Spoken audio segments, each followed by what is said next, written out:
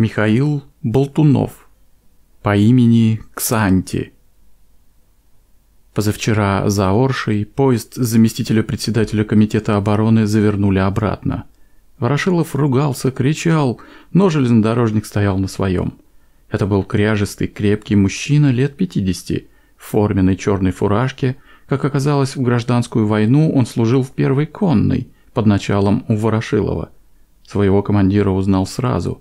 В гимнастерке с синими кавалерийскими петлицами Ворошилов точь-в-точь, как на предвоенном портрете, который висит у них в красном уголке рядом с портретом Кагановича.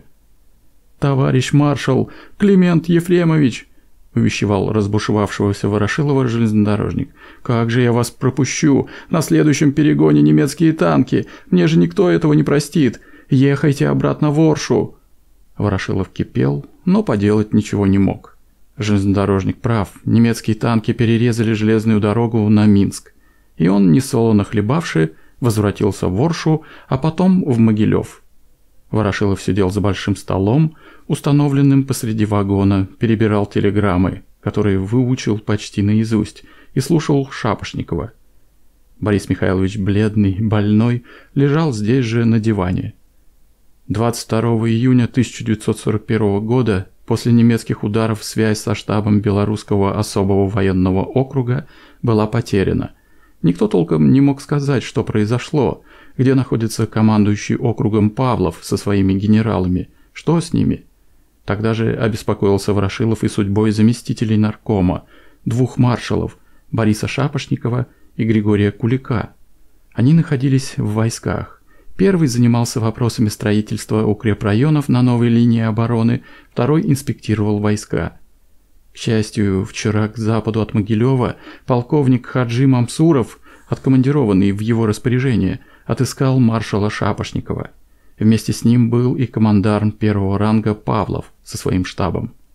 Ворошилов поехал сам, забрал Шапошникова и вот теперь слушал горький рассказ Бориса Михайловича. В маршальском вагоне находились также полковники Хаджи Мамсуров и Гай Туманян. Они помогали Ворошилову наводить порядок в войсках, а главное разворачивали партизанское диверсионное движение. Климент Ворошилов опять перебрал телеграммы из Москвы. Ни одной доброй новости. Отступление, бегство, прорыв немцев, окружение. И это по всему советско-германскому фронту. Маршал протянул пачку телеграмм Мамсурову. Тот молча читал, передавал листки Туманяну. Лица полковников темнели. Маршал вспомнил командующего Дмитрия Павлова, когда тот при их встрече отдавал рапорт – Осунувшийся, постаревший за два дня войны, он тянул ладонь к козырьку, но ладонь не слушалась хозяина, рука дрожала, пальцы дергались. Подбежал испуганный комиссар Фоминых. Фуражка на бок вздернута вверх. Ворошилов заскрипел зубами. «Твою мать! Член военного совета! Бездельник! Спишь?» Фоминых лишь промычал что-то невнятное и отчаянно замотал головой. Да, печальное воспоминание. Тем временем Шапошников закончил свой рассказ, замолчал и повернулся к Ворошилову. «Да», – протянул Климент Ефремович, – «наверное, как в старой русской пословице «допустим до Можая, а от Можая гнать будем». В вагоне стало тихо. Мамсуров глядел на Туманяна. Как позже будет вспоминать сам Хаджи Джиорович, после этих слов у него мороз пробежал по коже. Неужто действительно немец до Можая дойдет? В эту минуту в дверь вагона постучали – на пороге стоял командующий округом Дмитрий Григорьевич Павлов. Он приехал доложить обстановку. Ворошилов кивком головы пригласил его к карте, которая была разложена тут же на столе. Поднялся и Шапошников. Они оба внимательно слушали доклад командующего. Чем больше говорил Павлов, тем угрюмее становились лица Ворошилова и Шапошникова – они и без него знали обстановку, но в изложении командующего события последних дней прозвучали еще более трагически. Едва дослушав доклад Павлова, Ворошилов взорвался. «Помнишь, как ты жалобу на меня написал товарищу Сталину?» – вопрошал Ворошилов. «Мол, зажимаю твой рост, не даю двигаться молодым. Да тебе не округ, тебе дивизию доверить нельзя». Павлов, без кровинки в лице, слушал Климента Ефремовича. «Простите меня, товарищ маршал», – бормотал он, захлебываясь, то ли от слез, то ли от волнения. Простите, дурака. Виноват я перед вами». Никто не вымолвил ни слова. Только Ворошилов крепко выругался и отошел в другой конец вагона. Настроение и без того паршивое было испорчено в конец. Павлов уехал. Мамсуров вдруг почувствовал, как душно в вагоне. Он вышел на улицу. Вокруг было темно, и только на западе, по самому горизонту, сколько хватало глаз, полыхало зарево пожаров. Хаджи присел прямо на насыпь рядом с вагоном и смотрел на зарево. Страшно ли ему было в тот момент? Пожалуй, нет. Он ведь понимал, что главное его дело воевать. Беспокоило другое. Он, как и тысячи советских людей, задавал себе тяжкий вопрос. Как это могло случиться? И не находил ответа. Больнее всего, что на этот вопрос, судя по всему, не мог ответить не только он, полковник Мамсуров, но даже прославленный маршал Ворошилов, который еще год назад был наркомом обороны, и маршал Шапошников, вчерашний начальник генштаба. Уж они-то знали ответы на все вопросы, как казалось вчера. А нет. Все звенели в ушах ворошиловские слова. Допустим, доможая. Что это, просто минутная слабость или действительно маршал допускает такое развитие событий? Нет, мы скоро его остановим, отгонял дурные мысли Мамсуров. Ударим так, чтоб неповадно было. Только чем ударим? И вправду, ведь у них сегодня самые свежие данные. Мамсуров уже неделю мотается с Ворошиловым по фронтовым дорогам и видит, как отступают, бегут наши лучшие дивизии. Сам собирал командиров на этих фронтовых дорогах, ставил им задачу от имени маршала Ворошилова не допустить прорыва танков. В его полевой сумке хранится блокнот с расписками командиров частей о полученной боевой задаче по обороне рубежей западнее Орши, Могилева, Рогачева – и что же, немцы прут и прут. Это была уже четвертая война полковника Хаджи Мамсурова. В свои неполные 38 лет он успел повоевать на гражданской, в Испании, на советско-финском фронте. И вот теперь новая война. Это потом, позже ее назовут Великой Отечественной. Напишут песни о том, как 22 июня ровно в 4 часа а 22 июня он лежал дома с высокой температурой, глотал таблетки, грел шею, которую невозможно было повернуть от боли. Оказалось, война – лучшее лекарство. Видимо, первое потрясение от страшного известия было столь велико, что болезнь отступила. Утром 24-го начальник разведуправления генерал Филипп Голиков вызвал Мамсурова к себе. Хаджи Умар руководил пятым разведывательно-диверсионным отделом. Признаться, он так и рассчитывал, что разговор пойдет развертывании партизанской диверсионной работы в тылу врага. К разговору Мамсуров был готов. Захватив документы, явился по вызову. Однако начальник военной разведки завел речь совсем о другом. Оказывается, он получил приказ откомандировать Мамсурова в распоряжение маршала Ворошилова. Голиков сказал, что это решение считает неверным и обратился в Центральный комитет партии – Откровенно говоря, Мамсуров удивился такому заявлению начальника. Филипп Голиков никогда не отличался смелостью и мнение свое отстаивать не умел, а может быть и не желал. А тут по поводу него всего лишь полковника, такой сыр-бор. Что мог сказать Мамсуров? ЦК, он и есть ЦК. Как скажет, так и будет. Он ответил, я солдат и выполню любой приказ партии. В Центральном комитете подтвердили откомандирование, и Голиков сообщил Мамсурову, что Ворошилов ждет его на Белорусском вокзале. Поезд маршала уже стоял под парами. До отхода состава оставалось меньше часа. Мамсуров успел забежать домой, захватил с собой пару белья и уже на лестнице столкнулся с женой Линой. Она возвратилась из-под Гродно, где в составе курса военной академии имени Фрунзе была на стажировке. Переговорив несколько минут, они распрощались, и Хаджи поспешил на вокзал. Когда он вошел в вагон Ворошилова и доложил о прибытии, маршал спросил, почему не явился утром. Мамсуров ответил, что ему разрешили уехать из управления всего час назад. Ворошилов был явно не в настроении. Выругавшись, он сказал, что зря защищал Голикова, когда тот оказался в списке подлежащих уничтожению. Тогда Мамсуров даже не понял, о чем идет речь. Какие списки? Какое уничтожение? Ворошилов сказал, что едут они в Минск, так как с 22 июня потеряна связь со штабом Белорусского военного округа.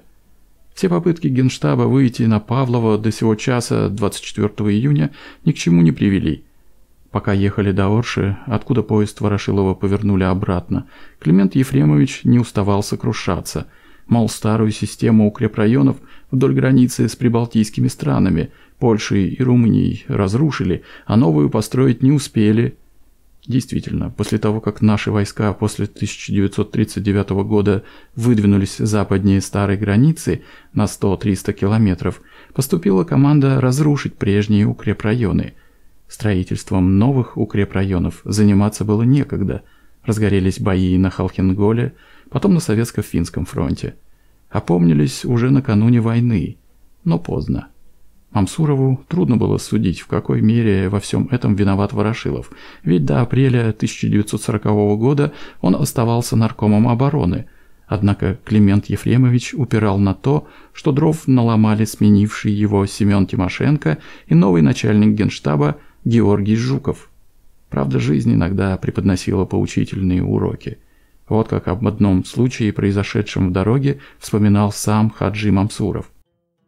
Вместе с Ворошиловым мы ездили на машине в западном, северо-западном, юго-западном направлениях от Могилева в поисках штаба Белорусского округа. Во время такой поездки проезжали мимо каких-то авиаремонтных мастерских. Ворошилов остановил машину, вышел. Ему доложили, что час назад мастерские бомбила фашистская авиация. Маршал оглядел развалины и с возмущением спросил, «Какой же дурак разрешил строить здесь мастерские?»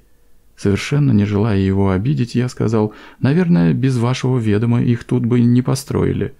Ворошилов пристально посмотрел на меня и произнес, «Выходит, что я дурак? Старый дурак».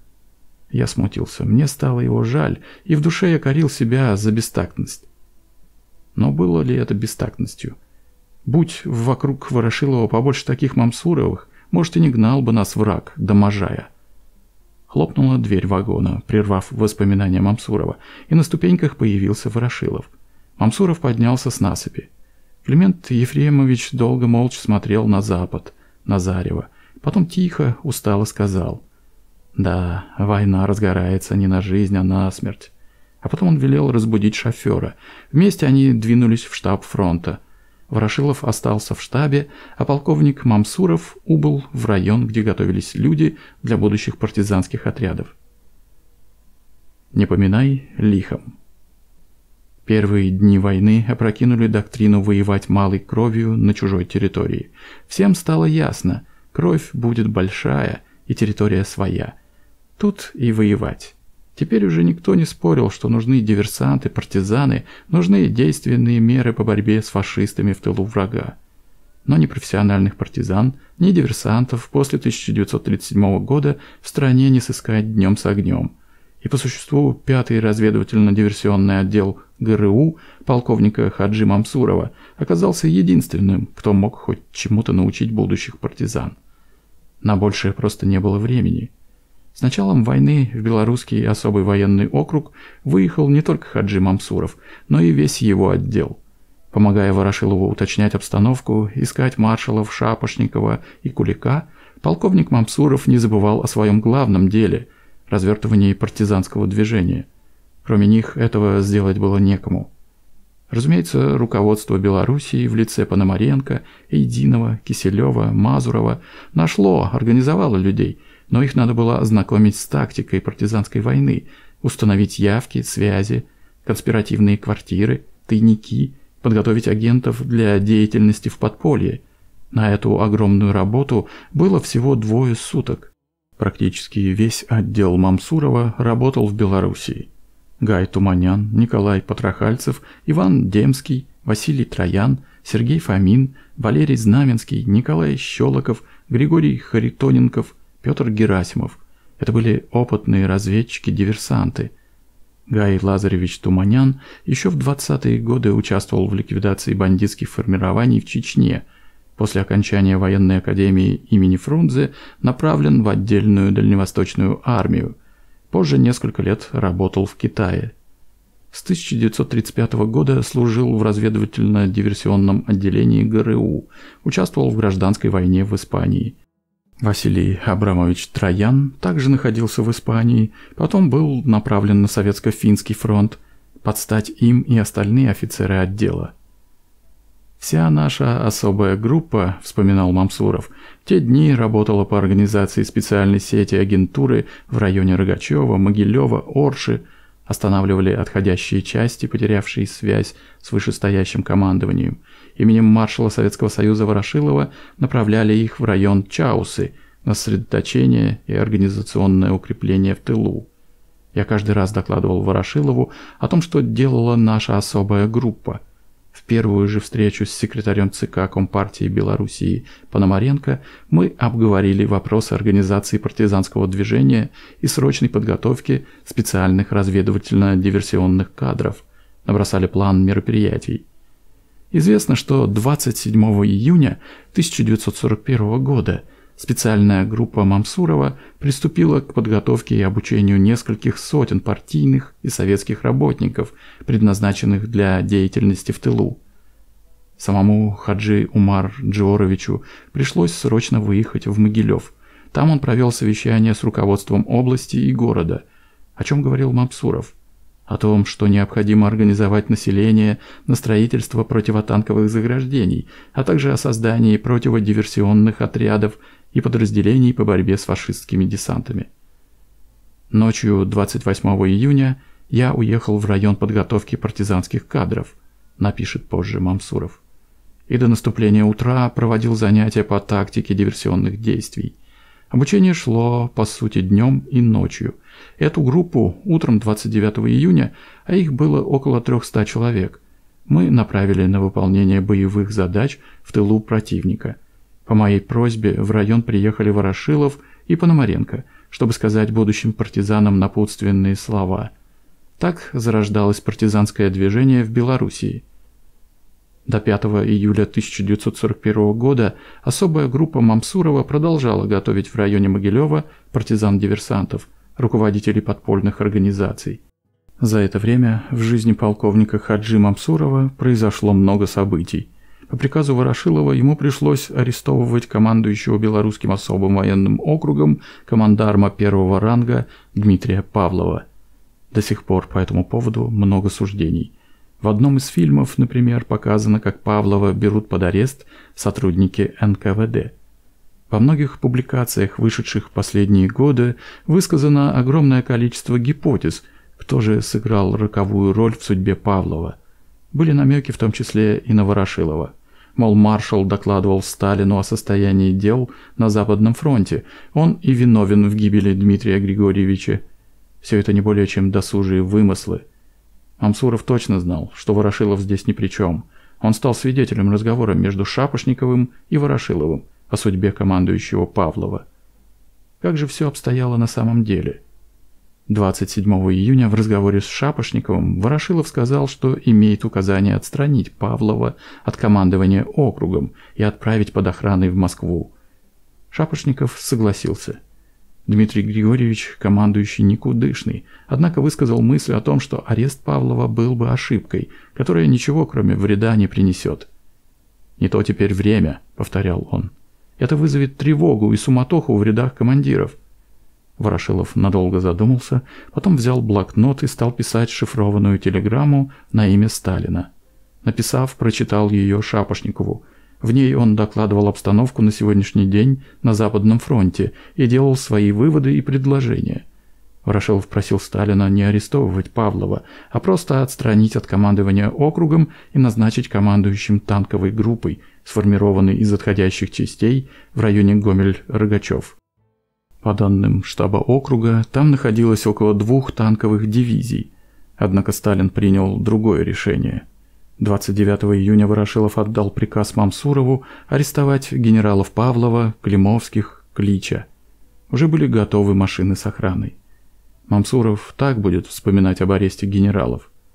Первым подошел сам Павлов, снял ремень с пистолетами и, подав их мне, крепко пожал руку, сказал «Не поминай лихом, Ксанти. Наверное, когда-нибудь в Могилеве встретимся». В отличие от вчерашней ночи, он был почти спокоен и мужественен в эту минуту. Павлов первым сел в легковую машину. Вторым сдал оружие начальник штаба Климовских. Мы с ним раньше никогда не встречались. Он был также спокоен, ничего не сказал и сел в ту же машину. Третьим подошел ко мне замечательный товарищ, великолепный артиллерист, командующий артиллерией округа Клич. Мы прекрасно знали друг друга по Испании и всегда общались как хорошие товарищи. Клич был жизнерадостным человеком. Он протянул свое оружие и с улыбкой обнял меня. Тихо сказал.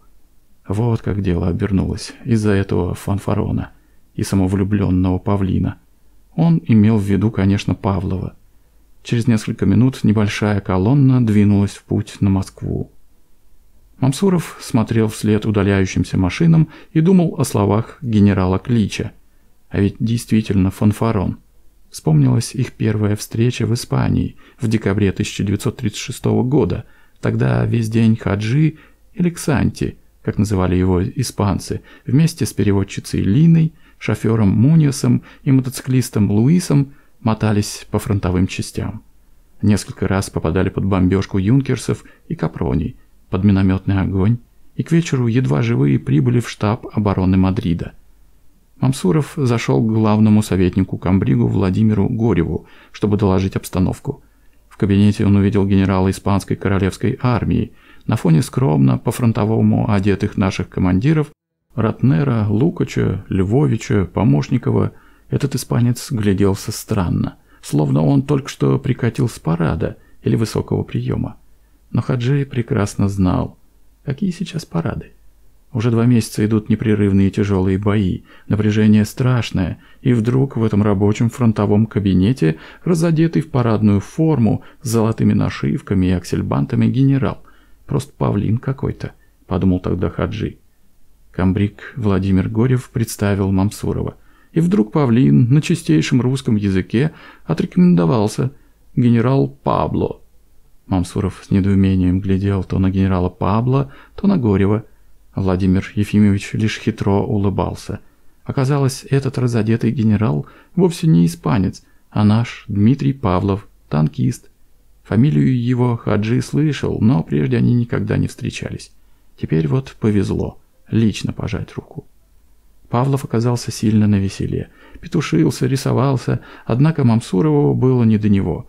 Хаджи вынул из-за пазухи карту и стал докладывать обстановку, сложившуюся на мадридском участке. Потом он прилег на несколько часов, а проснувшись еще затемно, уехал в район университетского городка и, откровенно говоря, забыл о Павлове. Ему были больше по душе другие танкисты. Героический капитан Арман или полковник Мелле – он же Кривошеин, не влезавший из танков сутками. Однако не знал Хаджи Мамсуров, что теперь судьба будет постоянно сводить с Павловым до того самого мига, когда на его долю выпадет горькая обязанность арестовать Дмитрия Григорьевича и его штаб. Вторая их встреча произошла там же, в Испании, хотя и заочно. Мамсуров попал под огонь танковых орудий, которыми командовал Павлов. Он находился в 14-й интербригаде Ею руководил Вальтер Сверчевский. В операции «Подлас Росса» кроме этой бригады участвовало еще несколько частей и соединений. Интербригадовцы наступали, и для развития успеха командование ввело в бой бригаду Сверчевского. И вдруг по боевым порядкам из штаба был открыт беглый огонь из танков.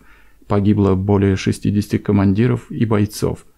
Наступление сорвалось, несмотря на иступленные попытки Вальтера поднять батальоны в атаку. Старший советник Камбрига, а фактически начальник штаба бригады Александр, полковник помощников, пытался добиться связи с вышестоящим штабом, чтобы прекратить огонь по своим, однако ничего не получалось, телефон не работал. В штабе 14-й интербригады всегда были офицеры связи, представлявшие артиллеристов, которые поддерживали своим огнем ввод в бой подразделений – поэтому всякого рода ошибки исправлялись достаточно быстро. Павлов этого не делал и офицеров связи не присылал. Вот и результат. А дальше события развивались так.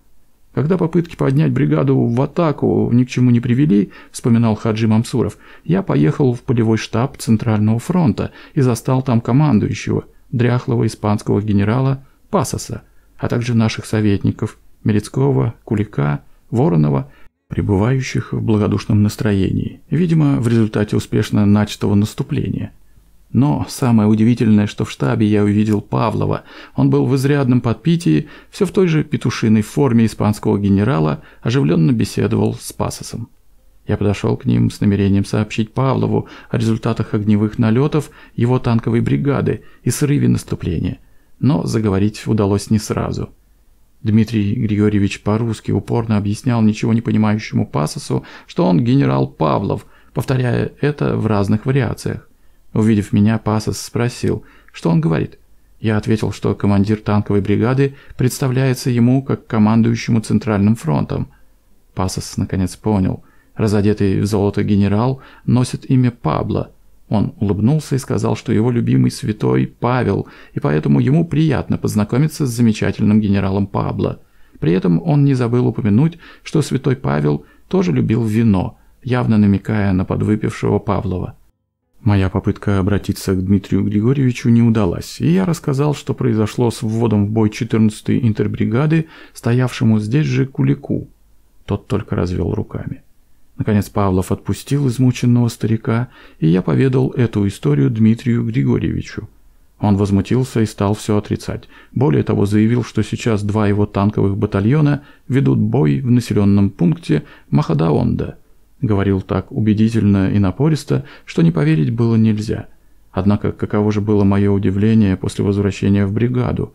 Передовые подразделения оказались там же, где я их оставил, залегшими под огнем врага, у Махадаонда. Танки Павлова стояли где-то в тылу передовых подразделений и вели редкий огонь по селению, в котором к тому времени уже сосредоточились пять батальонов испанских фашистов с итальянскими танками «Ансальдо». Словом, начавшееся первое контрнаступление республиканцев в районе северо-западней Мадрида было сорвано Павловым, который, видимо, даже и не понимал всей глупости и преступности действий. Так завершилась их вторая встреча. Потом будет третья, четвертая, опять в Испании, в Москве, в Академии имени Фрунзе, в Ленинграде во время Советско-финской войны. И всюду Павлов оставался самим собой.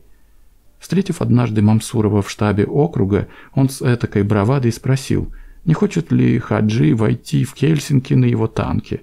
На что Мамсуров, в ту пору командир особого лыжного отряда, ответил вопросом – а не хочет ли Павлов прокатиться с ним на лыжах. На том и расстались. Маршал Шапошников оказался прав. После ареста командующего Павлова и генералов обстановка в штабе ухудшилась. Возросли нервозность, неуверенность, страх. 3 июля штаб Западного фронта переехал под Смоленск. Ворошилов возвратился в Москву, но по его приказу особая группа Мамсурова все еще оставалась в районе Могилева – готовила партизан-диверсантов и отправляла их в тыл на территорию, захваченную противником. Закончив работу, разведчикам предстояло убыть в штаб Западного фронта. Ворошилов лично отдал приказ наркому внутренних дел Белоруссии Цанаве выделить охрану и машины для переезда особой группы. Однако после возвращения с задания в установленном месте не оказалось ни охраны, ни машин. Разведчики ждали всю ночь, не веря, что нарком Цанава наплевал на приказ маршала Ворошилова, и их попросту бросили. Спас положение предусмотрительный Туманян. Он оставил свою машину в другом месте, и шофер Лаппо, который оказался дисциплинированнее и порядочнее наркома, вывез разведчиков из-под удара наступавших фашистских войск. 5 июля 1941 года особая группа разведуправления прибыла в штаб фронта. Обстановка была угрожающей. Мамсуров так и не смог понять, кто теперь командует фронтом. Командовали все, кто находился здесь. Тимошенко, Мехлис, Буденный, Еременко. Это создавало путаницу, неразбериху. Начальники рангом пониже, приехавшие вместе с маршалами, тоже руководили, в основном угрожая направо и налево расстрелами. Однако такие методы только усугубляли ситуацию. Смоленск сильно бомбила немецкая авиация. Центр города был разрушен, горел. На улицах трупы женщин, детей. Вечером, когда стих очередной налет фашистов, Мамсуров, Туманян и Троян встретились с Михаилом Мильштейном, который был назначен заместителем начальника разведки Западного фронта. Особая группа передавала дела фронтовым разведчикам. Они говорили, что Смоленск – это последний рубеж отступления. Здесь фашистам уготована смерть. А вдруг во время разговора неожиданно началась отчаянная стрельба зениток. Оказалось, прилетели два наших самолета. Это было странно, поскольку во время немецкого налета зенитная артиллерия молчала. В штабе фронта поднялась тревога. Из окна штабного барака выпрыгнул известный военачальник, которого хорошо знали разведчики. Он вывихнул ногу, и его под руки увели в санчасть. На следующий день Мамсуров увидел его с костылями. На груди военачальника появилось две ленточки, золотая и красная, обозначавшие тяжелое и легкое ранение. Эти отличия были введены накануне. С удивлением смотрел Хаджи Умар на костыли, отглаженную щеголеватую гимнастерку, знаки ранения, полученные при прыжке из окна штаба. Этот военачальник чем-то напоминал ему командарма первого ранга Павлова, только, пожалуй, Павлов был честнее и умнее. Через два дня в штаб фронта из Москвы пришла шифрограмма. Мамсурову, Туманяну, Трояну следовало немедленно убыть в столицу, а оттуда в Ленинград – для организации партизанского движения на северо-западе. Жаль было покидать Западный фронт, где за первые две недели войны столько пережито и где, казалось, решалась судьба Родины. Впереди был Ленинград. Война разгоралась. Четвертая война Мамсурова. А все начиналось в 1918 году с пропавшего буйвола, когда 15-летний Хаджи пас хозяйский скот. Уходили в поход партизаны – Хаджи выбежал в сад. Обида душила его, внутри все клокотало. Отец, родной отец, накричал на него, да еще дал пощечину. В их семье воспитание было строгое, горское. К сыновьям относились особенно сурово. Сколько помнил себя Хаджи Умар, никогда отец не говорил ему что-либо с улыбкой. Он всегда оставался серьезен и требователен. К этому привык Хаджи. Но чтобы ударить, он плакал от обиды, от несправедливого отношения к нему – а всему виной кулики. С самой весны, когда трава в Осетии буйно идет в рост, Хаджи пас кулацких буйволов. В тот июньский день ему стало плохо, сильно болел живот. Это потом с годами он поймет, что у него случился приступ аппендицита. Он не мог идти, падал на землю, потом вновь поднимался. От жары назойливых мух буйволы разбрелись в разные стороны, когда пришла пора их собирать, Хаджи не досчитался одного буйвола – разгорелся скандал. Кулаки приехали в их дом требовать выплату за утерянного буйвола. Соседи рассказали, что животное в тот день возвратилось домой раньше стада. Кулаки его спрятали, потом продали, но требовали компенсацию. Кулацкая семья была богатой, мужчин много, и сила оказалась на их стороне. На следующее утро кулаки подстерегли Хаджи на окраине аула и избили его нагайками. Окровавленный, он с трудом дошел до дома – Мать уложила сына в постель, как могла успокоила. В этот день к отцу приехала его сестра. У нее был болен муж, полгода уже не вставал с постели. А семья немалая. Жили бедно, и она обратилась к брату Джиору за помощью. Тот и рад был помочь, только теперь он и сам не знал, как расплатиться с кулаками. В общем, как говорят, пришла беда, открывая ворота. Хаджи не выдержал упреков, стал возражать отцу, а это не принято в их семьях. Вот и сорвался отец. А тут еще тетя, обиженная, что отец ей не в силах помочь, подлила масло в огонь, посоветовала Хаджи уйти из дома. И он ушел. Мать жалела его, но не удерживала. Она боялась, что Джиор решится отомстить кулакам за сына. Разгорится кровавая вражда. Хаджи приехал во Владикавказ, поступил рабочим в железнодорожное депо. Он был рослым, сильным парнем, владел оружием. В Осетии юноша в 15 лет считается мужчиной, может носить оружие, значит мужчина. А через несколько дней вместе с другими рабочими он вступил в отряд красногвардейцев Владикавказского совдепа, который размещался в бывших казармах Обширонского полка. Хаджи зачислили в так называемую «горскую сотню».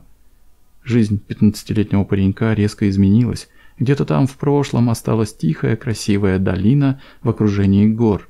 Внизу цвели сады, высоко вдали белела сахарная голова Эльбруса. Детство растаяло как сон. Он попал в настоящий фронтовой город. Центральная часть Владикавказа была захвачена белыми, а по окраинам разбросаны красногвардейские отряды рабочих. Каждый день происходили вооруженные стычки, перестрелки. В начале августа на Владикавказ совершили налет белоказачьей сотни. Они несколько дней удерживали город, шли уличные бои.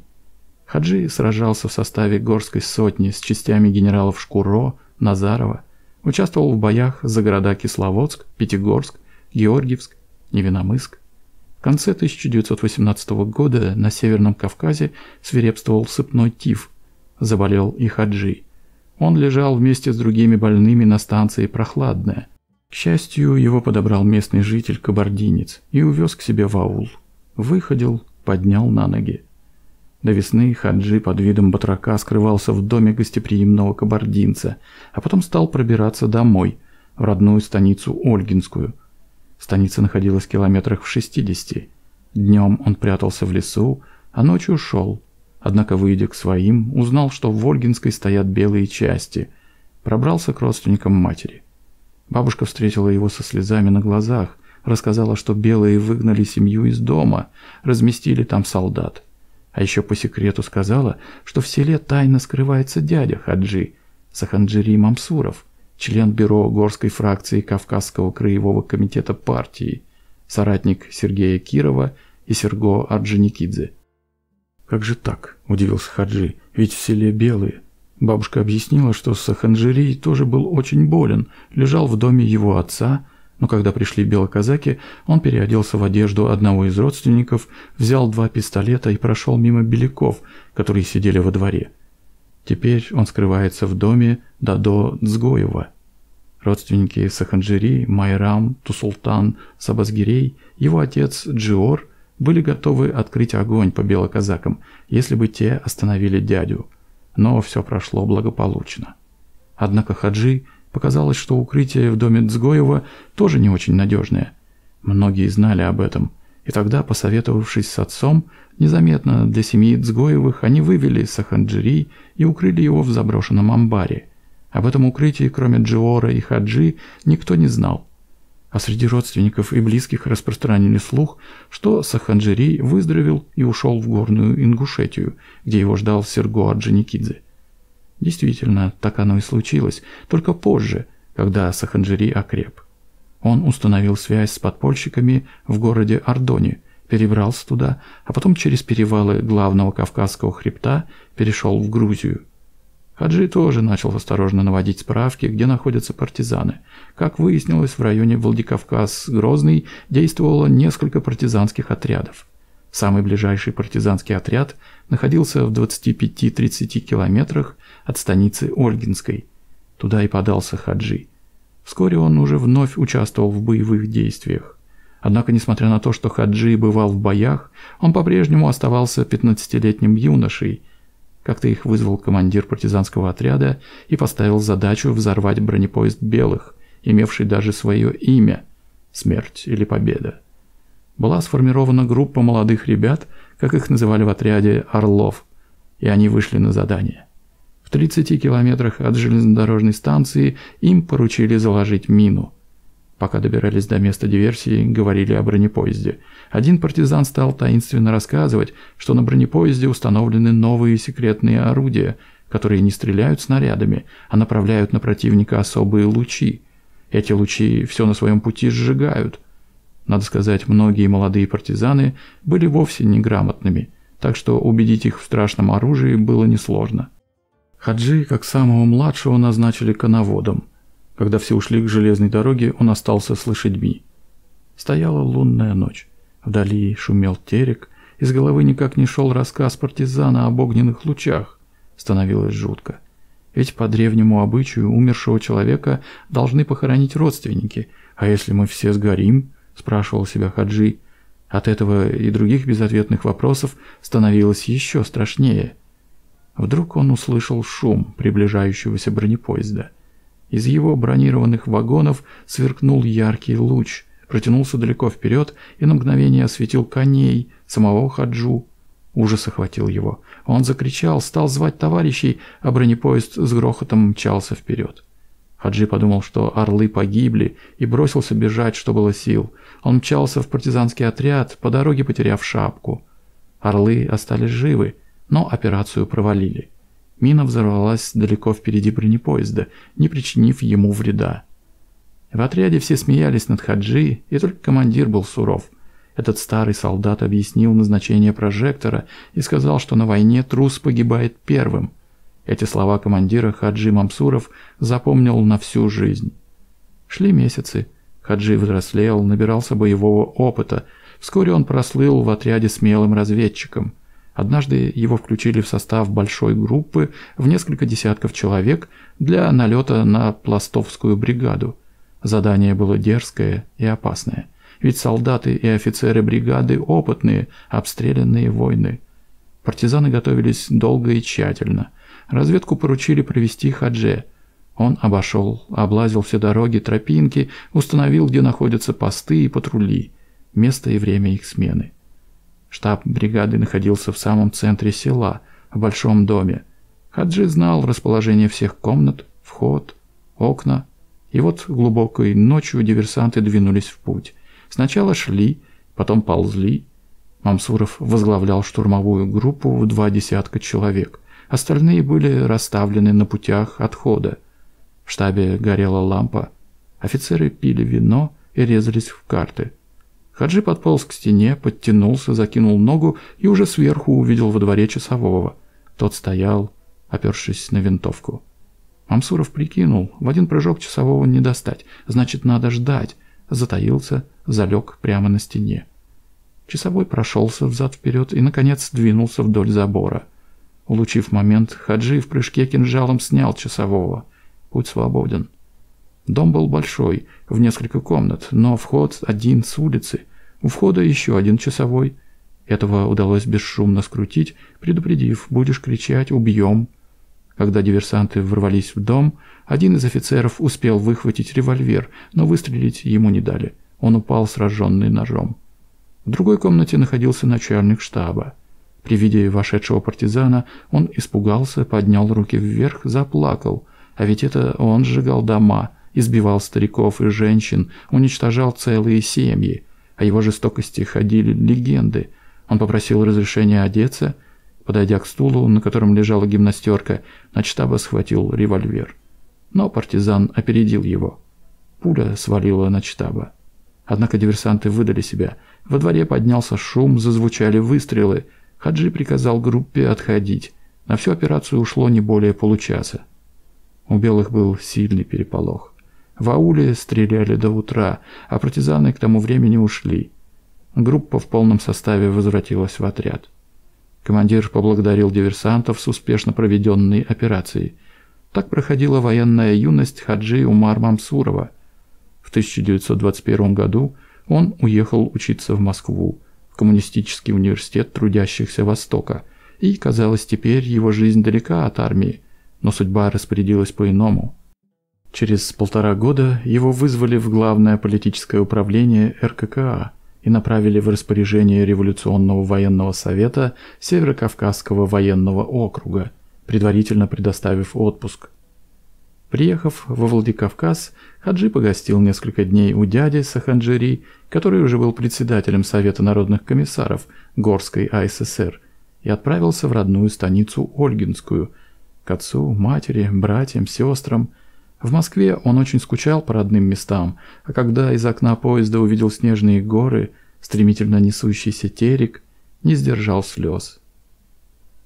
Война на пороге родного дома – Хаджи Мамсуров отдыхал в родной станице, когда стало известно, что в середине мая на праздник Объединения народов Горской АССР приедет сам всесоюзный староста Михаил Иванович Калинин.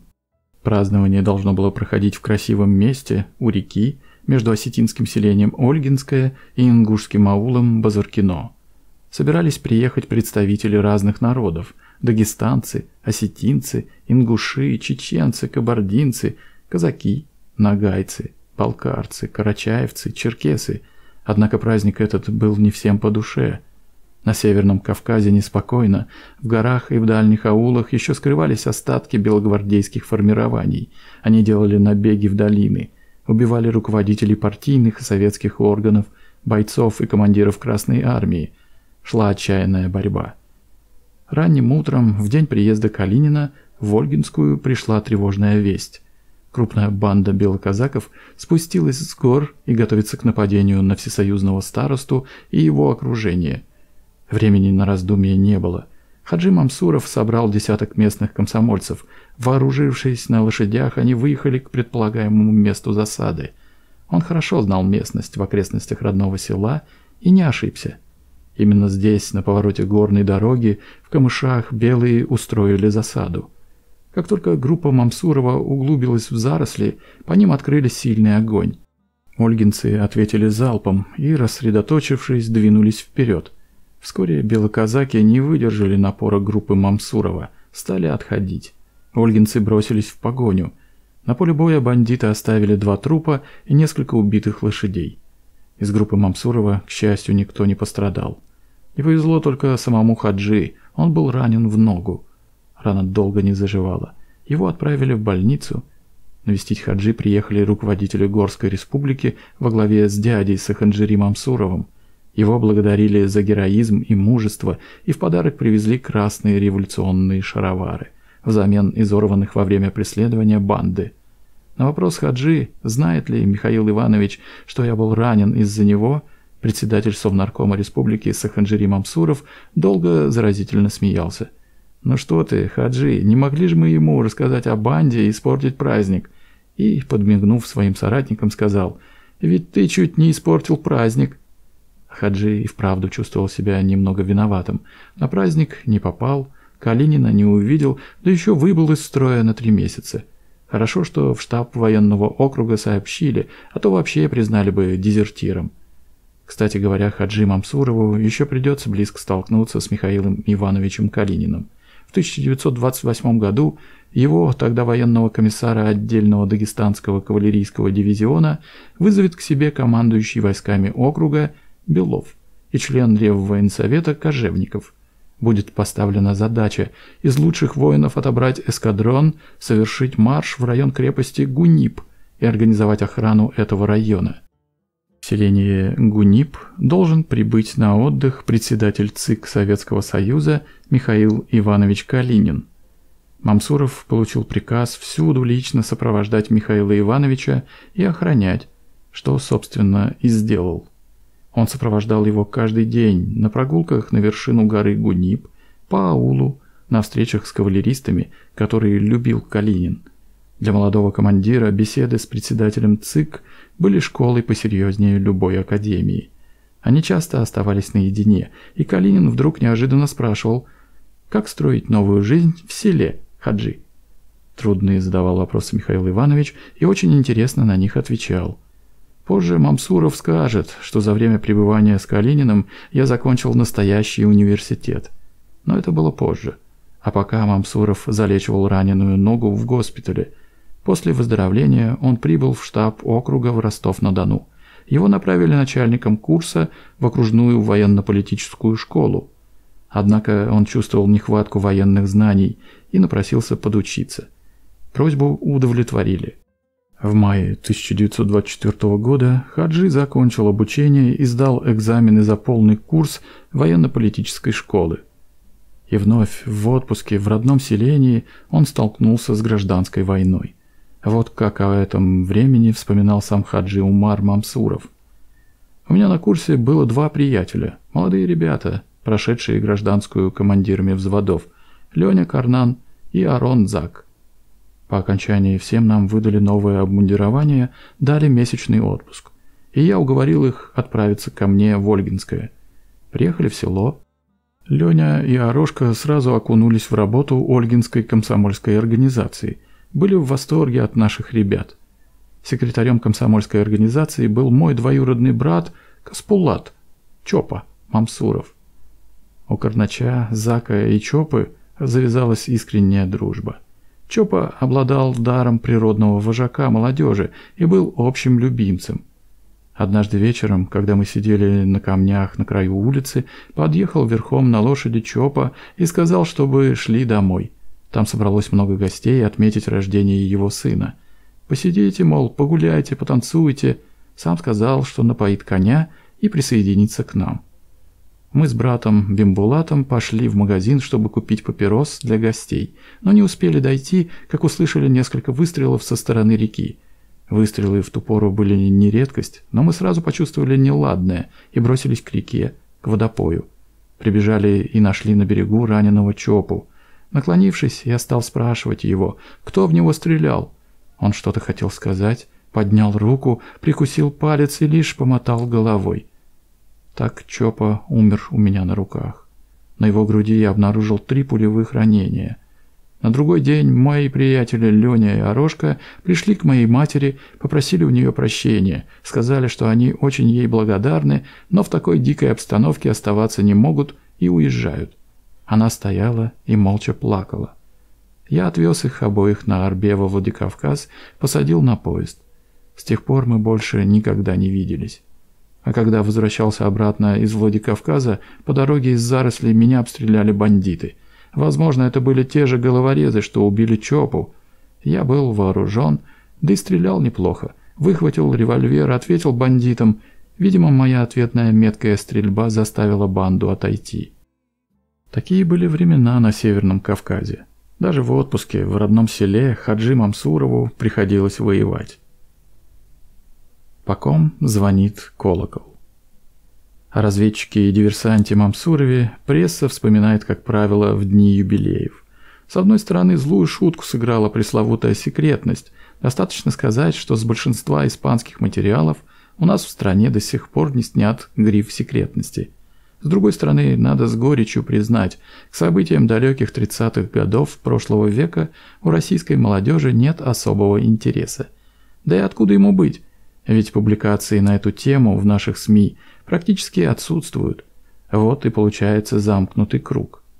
Те же редкие журналисты, которые пытаются что-то сказать о Хаджи Мамсурове, сразу западают на самый яркий, на их взгляд, эпизод из жизни разведчика. Еще бы. Именно Хаджи Мамсуров был прототипом главного героя лучшего романа Эрнеста Хемингуэя «По ком звонит колокол». Одна из центральных газет – в сентябре 1993 года писала Именно Хаджи Мамсуров послужил прототипом героя-подрывника Роберта Джордана в знаменитом романе. Но автору показалось и этого мало. Он идет дальше. Еще точнее будет сказать, что действия полковника Ксанти, как звался он в Испании, и побудили у романиста замысел описать события национально-революционной войны испанского народа 1936-1939 годов такой интерпретации. Действительно, Хаджи Мамсуров знал Эрнеста Хемингуэя, встречался с ним, рассказывал писателю о действиях партизан-диверсантов в Испании. Илья Эренбург в своих воспоминаниях пишет так. В Гейлорде Хемингуэй встречался с нашими военными. Ему нравился Хаджи, человек отчаянной смелости, который ходил во вражеский тыл – он был родом с Кавказа и мог легко сойти за испанца. Многое из того, что Хемингуэй рассказывал в романе «По ком звонит колокол» о действиях партизан, он взял со слов Хаджи. Известный фронтовой кинооператор, тоже участник войны в Испании, Роман Кармен, высказывается еще более конкретно. Хаджи никогда ничего не рассказывал, а на вопрос только качнет черный, как смоль шевелюрой, и улыбается застенчивой улыбкой, сверкнув из-под резко очерченных губ белоснежными зубами. Лишь одному человеку после долгих уговоров товарищей он дал вытянуть из себя подробный рассказ. Два вечера Эрнест Хемингуэй просидел с ним в отеле «Флорида» и впоследствии сделал смелого Хаджи прообразом одного из героев романа «По ком звонит колокол». Егор Яковлев, журналист, редактор, один из немногих, кто встречался с Хаджи Мансуровым в 60-е годы, когда тот уже занимал высокий пост заместителя начальника главного разведывательного управления, считает, что коммунист Хаджи не мог быть героем Хемингуэя. Человек ясных целей, бесконечно преданный победе нового строя, он герой иного романа. А те, о ком писал Хемингуэй, кого любил, отравленный горечью, живут в разладе с обществом. Да, они готовы воевать, и если воевать, то до конца, но лишь с несправедливостью, а не за переустройство всей жизни. Кстати, Егор Яковлев задал тогда свой сакраментальный вопрос Мамсурову. Скажите, товарищ Хаджи, а себя вы узнали в романе?» «И да, и нет», — ответил генерал. И, думается, ответом подвел черту в споре о прототипе главного героя книги «По ком звонит колокол». Хемингуэй сделал своего героя американцем, иначе и быть не могло.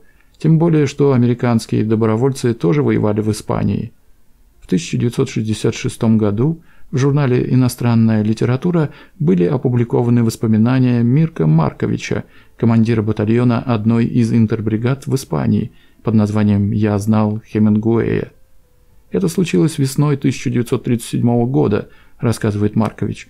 Хемингуэй находился в Испании в качестве корреспондента каких-то американских газет, а батальон американских добровольцев в составе 15-й интернациональной бригады занимал позиции возле Хармы – обороняя Мадрид. Весенний день близился к концу, когда мне принесли записку командира бригады Владимира Чопича о том, что в батальон приедет Эрнест Хемингуэй. В нормальной обстановке я, вероятно, был бы взволнован возможностью скорой встречи с писателем, которого знал по книгам, прочитанным до отъезда в Испанию. «Прощай, оружие», «Снега Килиманджаро», «Иметь и не иметь». Но на Харме я не испытал такого волнения – Вместо этого меня беспокоила мысль, как бы с ним что-нибудь не случилось, по крайней мере тогда, когда он будет у меня. Об этом предупреждал и Чопич, да я и сам, правильно или неправильно, понимал, что несу ответственность за все живое и мертвое в секторе батальона. Несколько успокаивало то, что у нас на позициях наступило вечернее затишье. Однако Хемингуэй появился возле нашей землянки, прежде чем я рассчитывал – он застал меня с запиской Чопича в руках. После того, как мы обменялись рукопожатиями, последовал его лаконичный вопрос. «Русский?» И мой очень лаконичный ответ. «Черногорец?» На лице Хемингуэя появилась тень разочарования, которую он даже не пытался скрыть. А я, черт возьми, слышал в Мадриде, будто нашими ребятами командует какой-то русский. Я возразил, стараясь говорить помягче. Вовсе не хочу вас обидеть, в самом деле было приятно услышать это в Мадриде. Русские хорошие солдаты, а я по опыту знаю, что значит иметь командиром хорошего солдата. Конечно, я интернационалист, но все-таки эти американские парни, эти молодые дьяволы из Нью-Йорка, Пенсильвании, Иллинойса и других мест как-то мне ближе. Думаю, Хемингуэй не кривил душой, говоря о молодых дьяволах из Нью-Йорка и Пенсильвании, только тянуло его больше к русским – Отсюда и нескрываемое разочарование при встрече с Марковичем.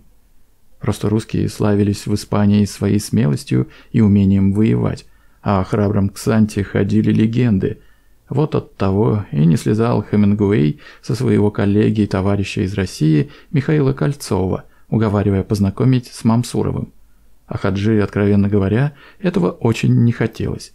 Он руководил диверсионными группами и соблюдал строжайшую секретность, конспирацию и делиться с кем-то этими сведениями не собирался. Но Кольцов уговаривал, просил, доказывал, что это необходимо, мол, Хемингуэй напишет о героизме интербойцов. С трудом, но Хаджи согласился. Их первая встреча произошла в 1937 году после диверсии интербригадовцев на аэродроме под Талаверой. Прошел слух, что в ходе этого налета убит подполковник республиканской армии Ксанти. Но Мамсуров, к счастью, был только ранен. Хаджи Мамсурову Хемингуэй с первой встречи не понравился. Воспитанный в строгих горских традициях Хаджи не пил и не любил пьющих. Хемингуэй же был нетрезв. Более того, в разговоре все время подтягивал вино. Ксанти стерпел – но после разговора сказал Кольцову, Хемингуэй человек несерьезный, много пьет и болтает, и все-таки во время других встреч писателю удалось разговорить к Санте. Они встречались три дня подряд. Беседовать начинали часов в 5-6 вечера и заканчивали далеко за полночь. Мамсуров рассказывал о делах и людях его диверсионных групп, не называя, разумеется, имен, а порой и мест, где происходили события. Если внимательно почитать роман Эрнеста Хемингуэя «По ком звонит колокол», можно заметить, что автор хорошо знает и тонко чувствует работу диверсантов-подрывников. Но откуда? Писатель никогда не ходил в рейды, не подрывал мины, однако все это делал много раз Хаджи Мамсуров. Он и поведал об этом Хемингуэю. Обратимся к роману. Вот генерал Гольц провожает на задание подрывника Роберта Джордана и, напутствуя его, говорит – взорвать мост в точно указанный час, сообразуясь со временем, назначенным для наступления. Вот что нужно. Вы понимаете? Это правило знает всякий диверсант. Оно звучит так. У каждой диверсии свой час. Еще одна заповедь диверсанта, отправляющегося в тыл – знать только то, что положено тебе, и не более. «Смотрите, я сейчас покажу вам весь план», – обращается Гольц к Джордану. «Видите? Мы начнем не у входа в ущелье, это уже решено. Мы начнем гораздо дальше. Вот, смотрите сюда». «Я не хочу знать», – сказал Роберт Джордан. «Правильно», – сказал Гольц. «Когда идешь за линию фронта, лучше брать с собой поменьше багажа. Да?» Эти, пусть и немудренные профессиональные секреты, украшают роман, доказывают, что Хемингуэй смог подсмотреть и подслушать у Ксанти важные детали. Впрочем, все это штрихи, говорил в беседе с Егором Яковлевым генерал Мамсуров. Еще радостнее узнавать людей, которые действуют в романе. Я узнал почти всех. В романе упоминается соратник Джордана по подрывной работе, его русский друг Кашкин – он все время страшится попасть живым в руки фашистов. Джордану пришлось исполнять последнюю просьбу друга. Он застрелил тяжело раненого Кашкина. Он случайно оказался недалеко от истины. Кашка – вид цветка. В Кашкине я узнал старшего лейтенанта Цветкова. Он был опытный подрывник, но со временем стали сказываться усталость, перенапряжение. Цветков нервничал. Храбрость его порой граничила с безрассудством – так было и в последнем бою. Он взорвал эшелон с войсками. Надо было отходить, но Цветков нарушил запрет и ввязался в бой. Его тяжело ранило. Цветкова вынесли товарищи. Он умер у них на руках. Похоронили его в глухом уголке Эстремадура. Дальше генерал Хаджи Мамсуров рассказывал о старике-испанце. Его звали Баутиста. Он был против убийства людей, считал это грехом – Ксанти поведал Хемингуэю о старике. И вот в романе старик Ансельмо говорит, «По-моему, людей убивать – это грех, даже если это фашисты, которых мы должны убивать». И тем не менее, в критический момент он убивает часового и гибнет сам. В жизни, к сожалению, было все трагичнее. После нападения отряда диверсантов на аэродром в Севилье, где они уничтожили 17 самолетов, старик Баутиста попал в руки фашистов.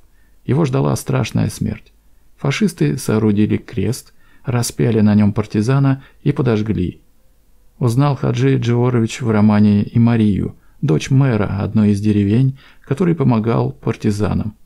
Фашисты надругались над ней, а ведь в жизни, в отличие от романа, она была совсем ребенком, 12-летней девочкой. Командир партизанского отряда мексиканец Мигель Хулио Хуста в книге предстает в образе Эль Сардо, а испанская Шура так прозвал ее поляк Макс Тадек, похожа на одну из персонажей романа «Пилар».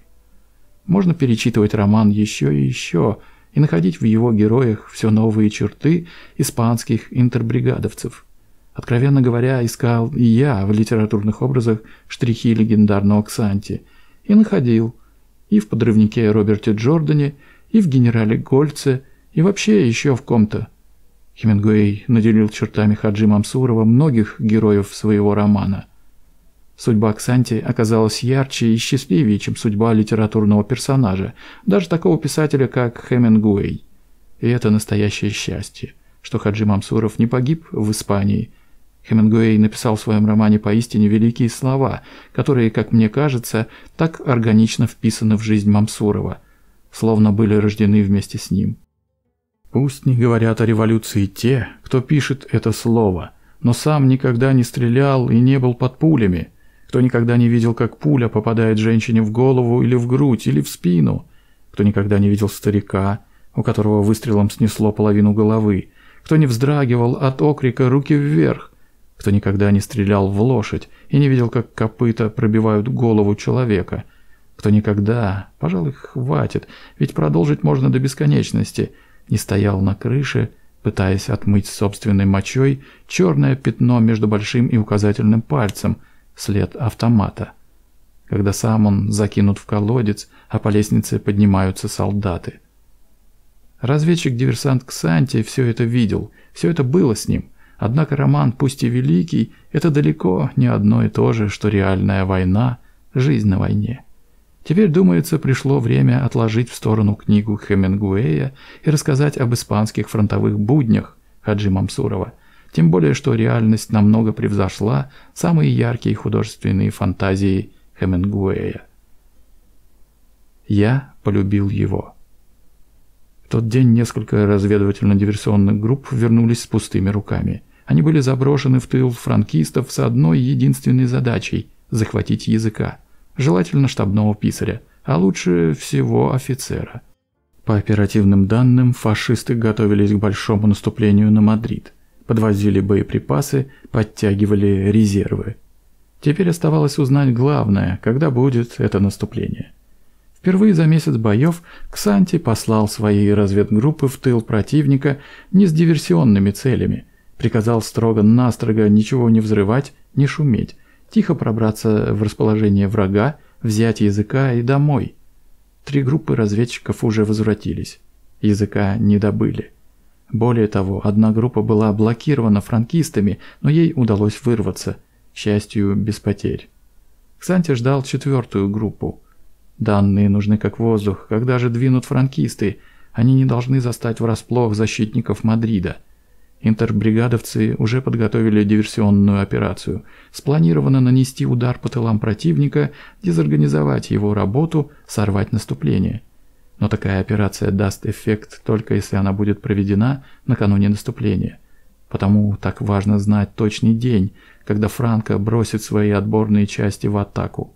Наконец возвратилась четвертая группа разведчиков. Они захватили офицера. Правда, при захвате его ранили, и в дороге пленный умер. Разведчикам пришлось оставить его, но в нагрудном кармане офицера был найден приказ самого Франка. Приказ гласил наступление начать 25 ноября. Значит, упреждающий диверсионный удар следовало нанести днем раньше, 24 ноября. И он был нанесен – взорваны железные шоссейные дороги, группы партизан напали на аэродром, подорвали несколько самолетов. Диверсанты спутали карты противника и добились своего. Франко отсрочил наступление на Мадрид. В ходе диверсионной вылазки на аэродром при отходе был контужен Мамсуров. Рядом с ним разорвался снаряд. Его оглушило. Хаджи потерял сознание. В горячке боя никто не заметил потерю. Никто кроме переводчицы Мамсурова, Лины. Курчавая, блестящая грива, большие губы на креольском лице, так писал о ней Михаил Кольцов. Эта аргентинка Паулина, или, как ее звали партизаны-интернационалисты, Лина, приехала на машине и разыскала лежавшего без сознания Мамсурова. Так она спасла ему жизнь в первый раз. На завтра, вспоминал Мамсуров, когда стал чувствовать себя несколько лучше, я вышел из дома – и не заметил, как фашистские самолеты зашли на бомбежку. Лина втолкнула меня в дверь дома, а самолеты буквально изрешетили то место, где я только что стоял. Так Лина спасла мне жизнь еще раз. Паулина была бесстрашной девушкой. Как-то группа юнкерсов сбросила бомбы на площадь маленького испанского городка. Там в это время играли дети. Лина схватила санитарную сумку и под обстрелом бросилась перевязывать раненых детей. Так началась их дружба аргентинки Паулины и осетина Хаджи. Уезжая из Испании, он увез с собой в Москву свою переводчицу. Они поженились. Однако все это будет потом, а сейчас возвратимся в Мадрид, где на подступах к столице идут тяжелые кровопролитные бои. Хаджи Мамсуров так рассказывал о боях под Мадридом – Зона обороны создавалась и существовала как самостоятельный фронт с прямым подчинением министру обороны и президенту республики. Возглавил этот фронт так называемый Совет обороны Мадрида, во главе которого формально числился командующий и председатель Совета обороны генерал Мияха. Главным советником у него был комбриг Владимир Ефимович Горев, очень толковый, грамотный, смелый командир, владеющий английским и испанскими языками. До приезда в Испанию он командовал одной из лучших в Красной армии танковых бригад, потом находился на посту военного атташе. Помощниками у Горева были Ратнер и Львович. Я по штату являлся советником при начальнике штаба В. Рохо, Однако приходилось работать и в крупных соединениях, прибывавших для обороны Мадрида с ноября 1936 года по январь 1937 года. Так, в один период был советником командира каталонского корпуса, известного боевика-анархиста Буэнавентура Дурутти. На этом, собственно, Хаджи Джорович и останавливается. Всего одна строка, одно имя, а ведь за этой строкой полный трагизма эпизод гражданской войны – к счастью, в своем испанском дневнике Михаил Кольцов уделил достаточно большое внимание отношениям коммуниста Мамсурова и анархиста Дуррутти. Он попросил себе советника-офицера, ему предложили Ксанти, пишет Михаил Кольцов. Он расспросил о нем и взял. Ксанти – первый коммунист в частях Дурутти. Когда Ксанти пришел, Дурутти сказал ему, «Ты коммунист? Ладно, посмотрим. Ты будешь всегда рядом со мной. Будем обедать вместе и спать в одной комнате. Посмотрим. Ксанти ответил. У меня все-таки будут свободные часы. На войне всегда бывает много свободных часов. Я прошу разрешения отлучаться в свободные часы. А что ты хочешь делать? Я хочу использовать свободные часы для обучения твоих бойцов пулеметной стрельбе. Они очень плохо стреляют из пулемета. Я хочу обучить несколько групп и создать пулеметные взводы. Дурути улыбнулся. «Я хочу тоже. Обучи меня пулемету». Анархисты, уезжая из Каталонии, подняли большую шумиху. Мол, они идут спасать столицу Испании от фашистов. Потребовали дать бригаде самый трудный участок. Но прошло всего два дня, и они выдвинули совсем другое требование – отвезти их на отдых. Эту историю в своих воспоминаниях продолжает кинооператор Роман Кармен. «А какую позицию занимает Дурутти?» – спросил я. Хаджи задумчиво разминал в руках свой берет. «Понимаешь», — сказал он, — «я полюбил его. Вот полюбил и все. Верю в его честность. Он по-настоящему ненавидит фашистов, горячо любит Испанию. Но в каком он ужасном окружении? Меня иногда пугает его трагическая обреченность. В минуты откровенности он не в силах скрыть от меня своего отвращения ко многим авантюристам и негодяям, которые, как говорит он, позорят чистые идеи анархизма. Вот я убежден, что он против отвода бригады в тыл. Я еду к нему сейчас. Хочешь, поедем вместе?» Нас привели в кабинет, где Дурутти диктовал что-то машинистке. Он порывисто встал и, кинувшись навстречу Хаджи, долго пожимал ему руку, словно боясь ее выпустить. Всего лишь несколько дней Хаджи прикомандирован к бригаде советником, а Дурути уже не может прожить без него и часа. Он полюбил Хаджи за отчаянную храбрость, за железную волю и жестокую прямоту, те качества, за которые все любят этого отважного молчаливого человека. Хаджи молча взял его за руку, усадил на большой диван, обитый голубым атласом. Тот покорно сел и опустил глаза. «Это верно, Дурутти, что ты отводишь бригаду в тыл?» – спросил Хаджи. «Ты знаешь, резервов нет. Ты оголишь самый ответственный участок фронта». «Да, я отвожу бригаду», – закричал Дурути. «Люди устали. Устали от бомбежек и артиллерии. Люди не выдерживают. Я не могу». Дурутти, но твоя бригада всего лишь два дня на передовой. И знаешь, как оценил народ, что анархисты пришли, наконец, из глубокого тыла драться в Мадрид? Понимаешь, какое впечатление произведет уход из бригады?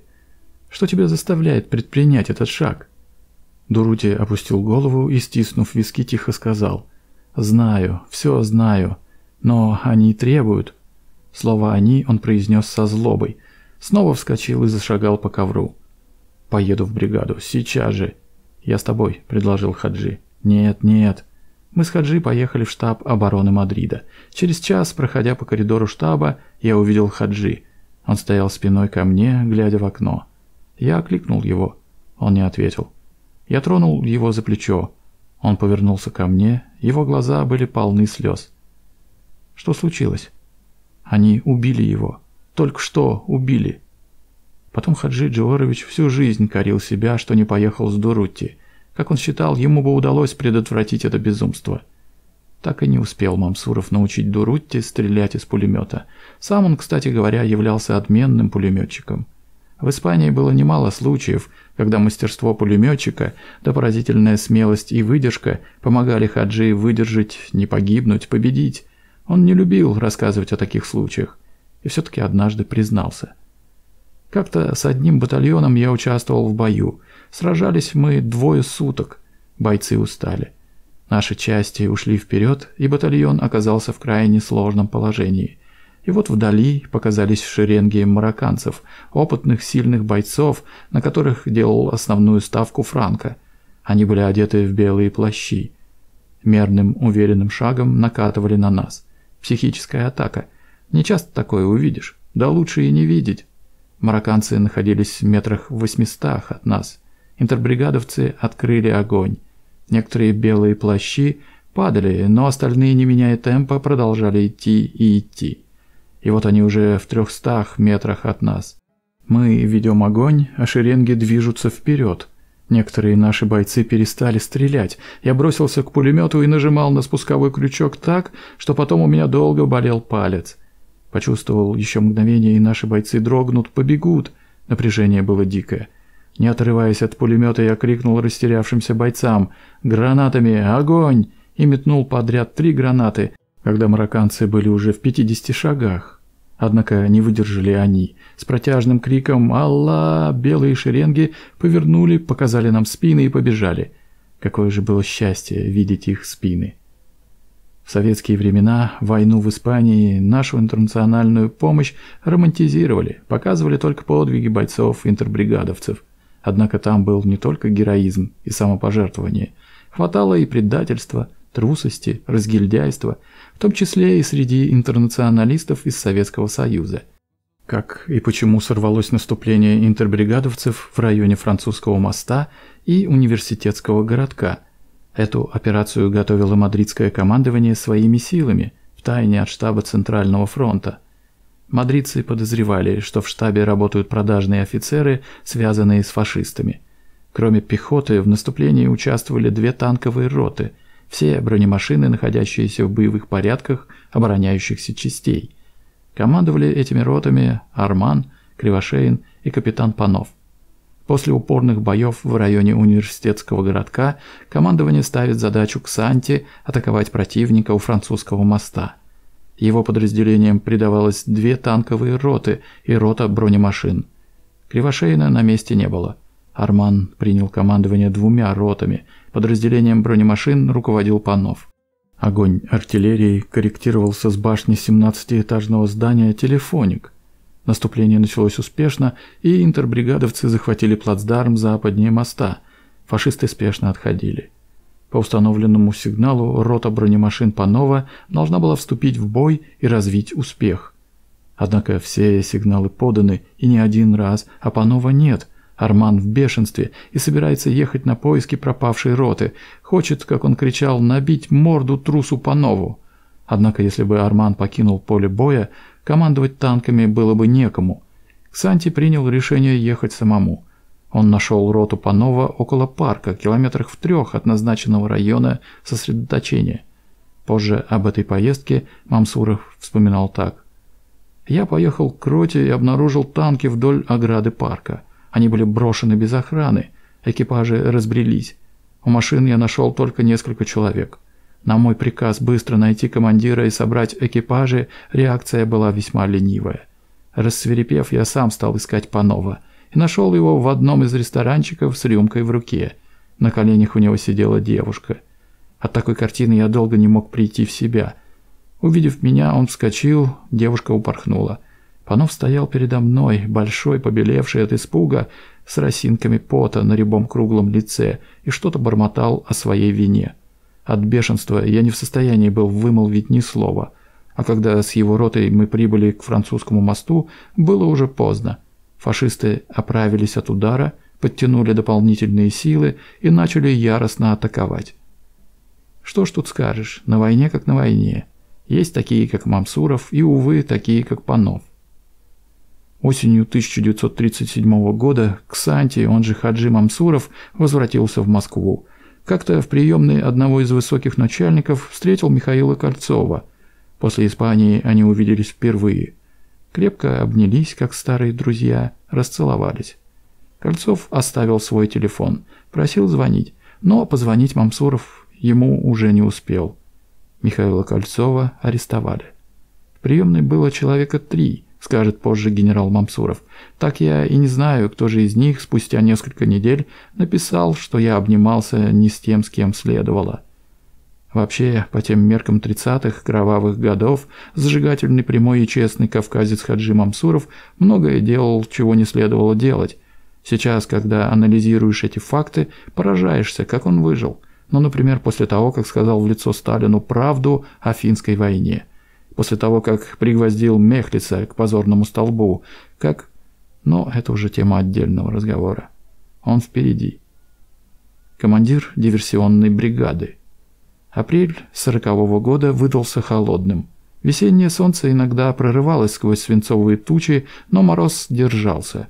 Лютая зима, на которую пришлась советско-финская война, отступать не хотела. 12 марта 1940 года Советский Союз и Финляндия заключили мирный договор. Советскому Союзу отошла территория Карельского перешейка с Выборгом, острова в Финском заливе – западное и северное побережье Ладожского озера с городами Кексгольмом, Сортовала, Суаярви, территория к северу от Ладоги с городом Куала-Ярви и часть полуостровов Рыбачий и Средний. Полуостров Ханко переходил в аренду Советскому Союзу на 30 лет. Красная армия победила, но как-то тяжело было думать об этой победе. Полковник Хаджи Мамсуров видел ее изнутри, с изнанки – в конце марта на сессии Верховного Совета Советского Союза со ссылкой на данные штаба Ленинградского военного округа были обнародованы цифры наших потерь в финской войне. Около 48,5 тысяч убитых, почти 159 тысяч раненых, больных, обмороженных. Финны, по тем же данным, потеряли 70 тысяч убитыми и более 250 тысяч ранеными – Мамсуров не мог не верить сессии Верховного Совета, но на войне он видел совсем другое. Что ж, возможно, ошибался. Трудно говорить ему, полковнику, командиру бригады за весь фронт. Жена Мамсурова, Паулина, рассказывала позже, что Хаджи вернулся с войны каким-то замороженным, больше молчал, ходил мрачный, наверное, вспоминал своих ребят, заснеженные поля, густые леса, в которых прятались финские снайперы-кукушки ни о чем не рассказывал, желая оградить нас от взрыва своих чувств. Единственное, что я знала, он люто ненавидел Михлиса. В начале апреля сообщили, с 14 по 17 в ЦК пройдет совещание начальствующего состава Красной Армии по сбору опыта боевых действий против Финляндии. Полковник Мамсуров среди выступающих. Наступил день совещания. Хаджи ехал в Кремль. Что он будет сегодня говорить на совещании? Те события еще свежи в памяти, словно были вчера. Дикий мороз в полсотни градусов, суконные шаровары и кители бойцов его бригады, которые сшила специально для них ленинградская швейная фабрика. Форма более удобная, чем длиннополые шинели, но на морозе в такой одежде не то что отдохнуть, остановиться порою невозможно, замерзнешь. А ведь действуя в отрыве от основных сил, в финском тылу, приходилось и спать в снегу, Лучшее, на что можно было тогда рассчитывать, это шалаш из еловых веток. Лишнего ничего не возьмешь, а возьмешь проклянешь. Каждый грамм в дальнем рейде как тонна. Диверсионные группы его особой лыжной бригады находились всегда в движении. Порой без еды и питья, в кармане пяток кусочков сахара, проголодаешься, пососешь сахарок и вперед. Это была третья война Хаджи Мамсурова. Вроде и не новичок, но никогда прежде не посещали его такие страшные желания. Порой хотелось махнуть на все рукой, упасть на снег и уснуть. Он никому не признавался в этом, разве что самому себе. Но что было, то было. Как говорят, слов из песни не выбросишь, даже если песня больше похожа на стон. Вспоминались погибшие ребята – Какие ребята? Володя Мягков, лыжник-рекордсмен, веселый, общительный, смелый. Как только Хаджи начинал подбирать бойцов в рейд, он тут как тут. Тач полковник, разрешите мне пойти со своим взводом. А студент-эстонец Крузе. Когда в небольшом доме их окружили финны, началась перестрелка. Крузе был ранен. Он приказал уходить бойцам группы, сам остался прикрывать отход. Попросил поджечь дом вместе с ним, чтобы не попасть живым в лапы врага. Группа отошла. Разумеется, ни у кого не поднялась рука сжечь товарища. Крузе долго отстреливался, задерживая финнов, а когда закончились патроны, сам поджег дом. Не хуже ребят воевали девушки. Их в бригаде было немного – связистки, финки-переводчицы, карелки. Переодеваясь в одежду местных жителей, они собирали нужную развединформацию, а когда становилось особенно тяжело, прятали под своими шубейками револьверы, гранаты и в бой. Вот о таких, как Володя Мягков, Крузе, Маня Богданова и надо говорить. Но не только о них. Было еще рано, половина десятого, когда Хаджи сдал шинель в гардероб и вошел в фойе зала. Однако тут уже собралось немало командиров. Он увидел корпусного комиссара Хрулева, начальника снабжения Красной Армии. Тот, наклонившись, что-то говорил Комкору Чуйкову, командующему 9-й армией на Финском фронте. Мимо него прошел, куда-то торопясь, комдив Кирпонос, командир 70-й стрелковой дивизии. Он приветливо махнул Хаджи – Мол, прости, тороплюсь. Большинство собравшихся Мамсуров знал лично, с некоторыми служил раньше или познакомился в эту финскую войну. С иными воевал еще в Испании. Испания. Прошло-то всего ничего, два с небольшим года, а кажется, как это было давно. Вот Григорий Иванович Кулик, обритый наголо, как колено, вышагивает важно. Понятно, он уже зам наркома обороны, командарм второго ранга. Странно, как такое могло случиться?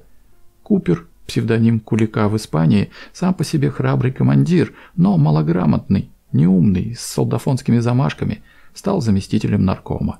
А прекрасный тактик, глубокий интеллигентный человек, талантливый военачальник Владимир Ефимович Горев по возвращении из Испании арестован и расстрелян. Хаджи не раз задавал себе этот вопрос. Там, в Испании, он был слишком занят – если не сказать больше, увлечен борьбой и как-то не задумывался о таких низменных, на его взгляд, вещах, как зависть, злоба, интриги. А ведь Владимиру Ефимовичу завидовали. Да еще как. Героическая оборона Мадрида прославила Горева и его помощников. Наверное, сыграл свою роль и острый горевский язычок. Он не раз поддевал Мерецкого, смеялся над неотесанностью Кулика, а Павлова попросту называл генерал Бодега – как прозвали его многие испанцы, намекая на приверженность Дмитрия Григорьевича к вину. Так что врагов у Горева было немало. А вон и генерал Бодега, легок на помине. Павлов, теперь уже начальник автобронетанковых войск Красной Армии, прохаживался вместе с Мерецковым, командующим Ленинградским военным округом и 7-й армией. Все собрались в зале, где должно было начаться совещание – Мамсуров тоже прошел в зал, на ходу приветствуя знакомых командиров. На совещании присутствовал Сталин, все руководство Красной Армии. Выступающих было много. Сталин слушал, задавал вопросы, спорил, не соглашался. Во время выступления комкора Василия Чуйкова, командующего 9-й армией, он неодобрительно отнесся к мнению о бережном, экономном отношении к боеприпасам. «Если мало боеприпасов расходовали, то много людей расходовали. Тут надо выбирать одно.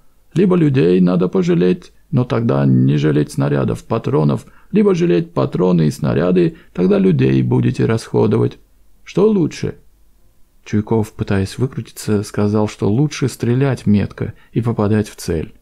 Сталин взорвался. «Неверно! Старо! Если бы наша артиллерия стреляла только по целям, до сих пор бы воевали. Артиллерия выиграла, что она в один день 230 тысяч снарядов положила. Ругаем их за это. А я ругал, в свою очередь, почему не 400 тысяч, а 230.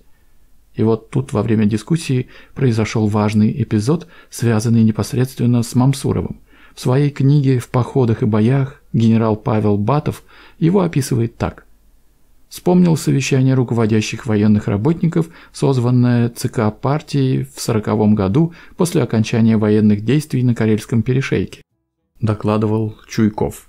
Сталин, прохаживаясь, курил трубку, остановился, спросил, прервав докладчика. «Скажите, вам никто не мешал командовать?» В зале стало тихо. Вопрос был повторен. Этот вопрос Сталин задал неспроста. До него дошли слухи, что начальник политуправления Красной Армии, армейский комиссар первого ранга Лев Мехлис, совал свой нос повсюду.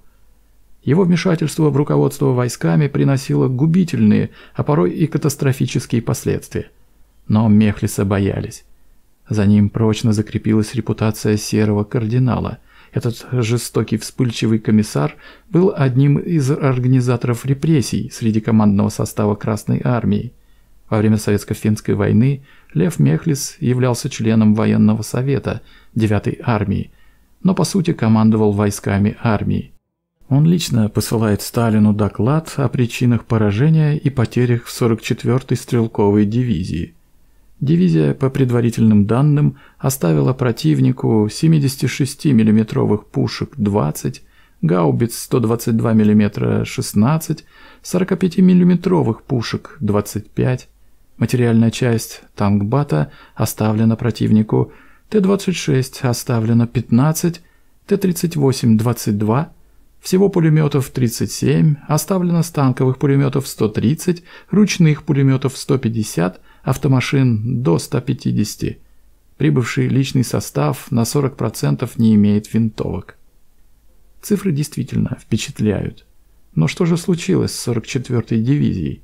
Соединение было в срочном порядке переброшено из Тернополя, как скажет позже Мерецков, из украинских степей, без предварительного обучения бойцов – в условиях лесисто-болотисто холмистой местности и глубоких снегов.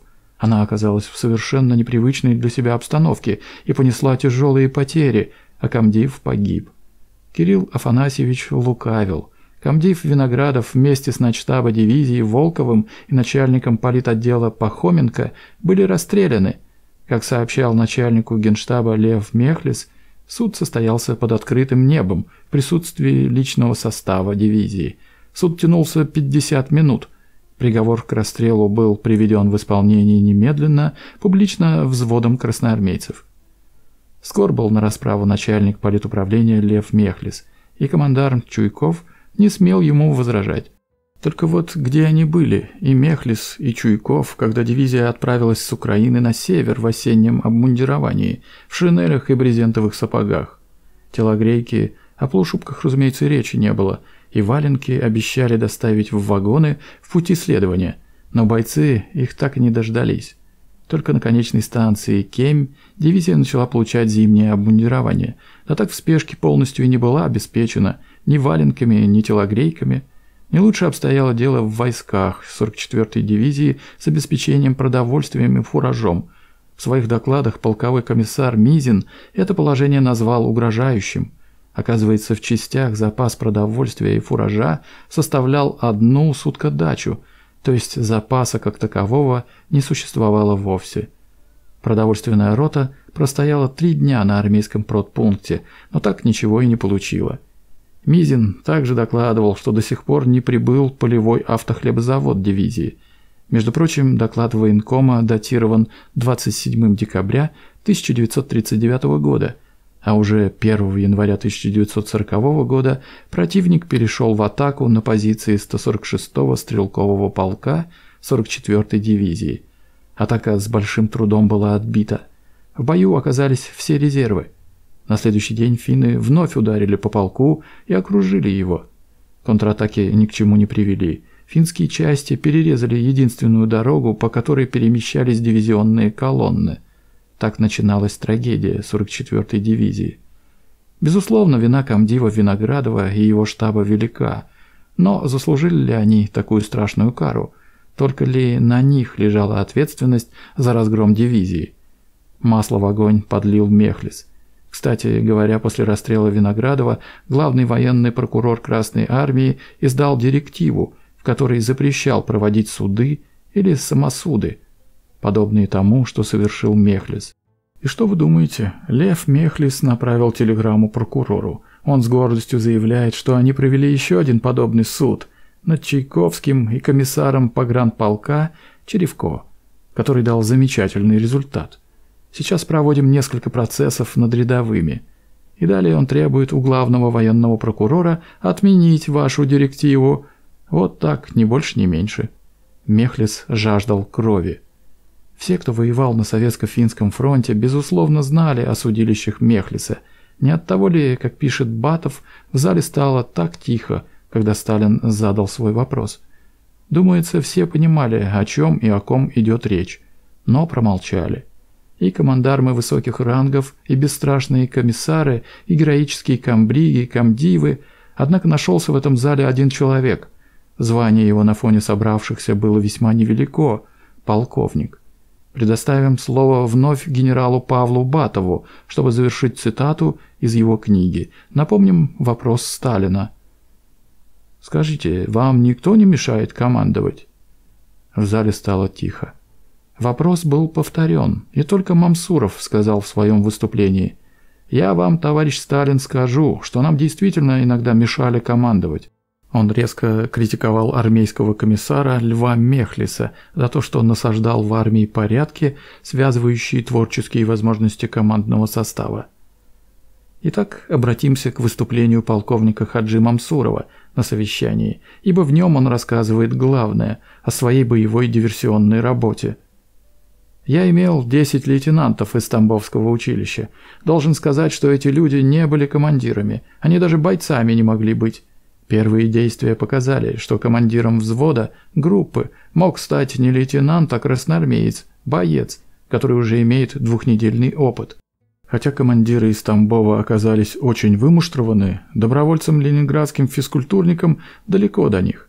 Но в боевой обстановке они даже не знали хорошо компаса, карты. В бою они боялись, а в тылу были хорошими командирами. К этому делу, созданию диверсионных отрядов, для действий в финском тылу некоторые командующие отнеслись хорошо. Товарищ Мерецков, Штерн. Мы к концу января создали несколько отрядов, которые сделали большие дела. Я выехал с таким отрядом в девятую армию, взял ленинградцев-добровольцев и студентов Института физкультуры. Получил задачу выйти на помощь 54-й дивизии. Выехали ночью на машинах, а потом прошли на лыжах за сутки 68 километров и дошли до места действия в тылу противника. Погода была очень холодная.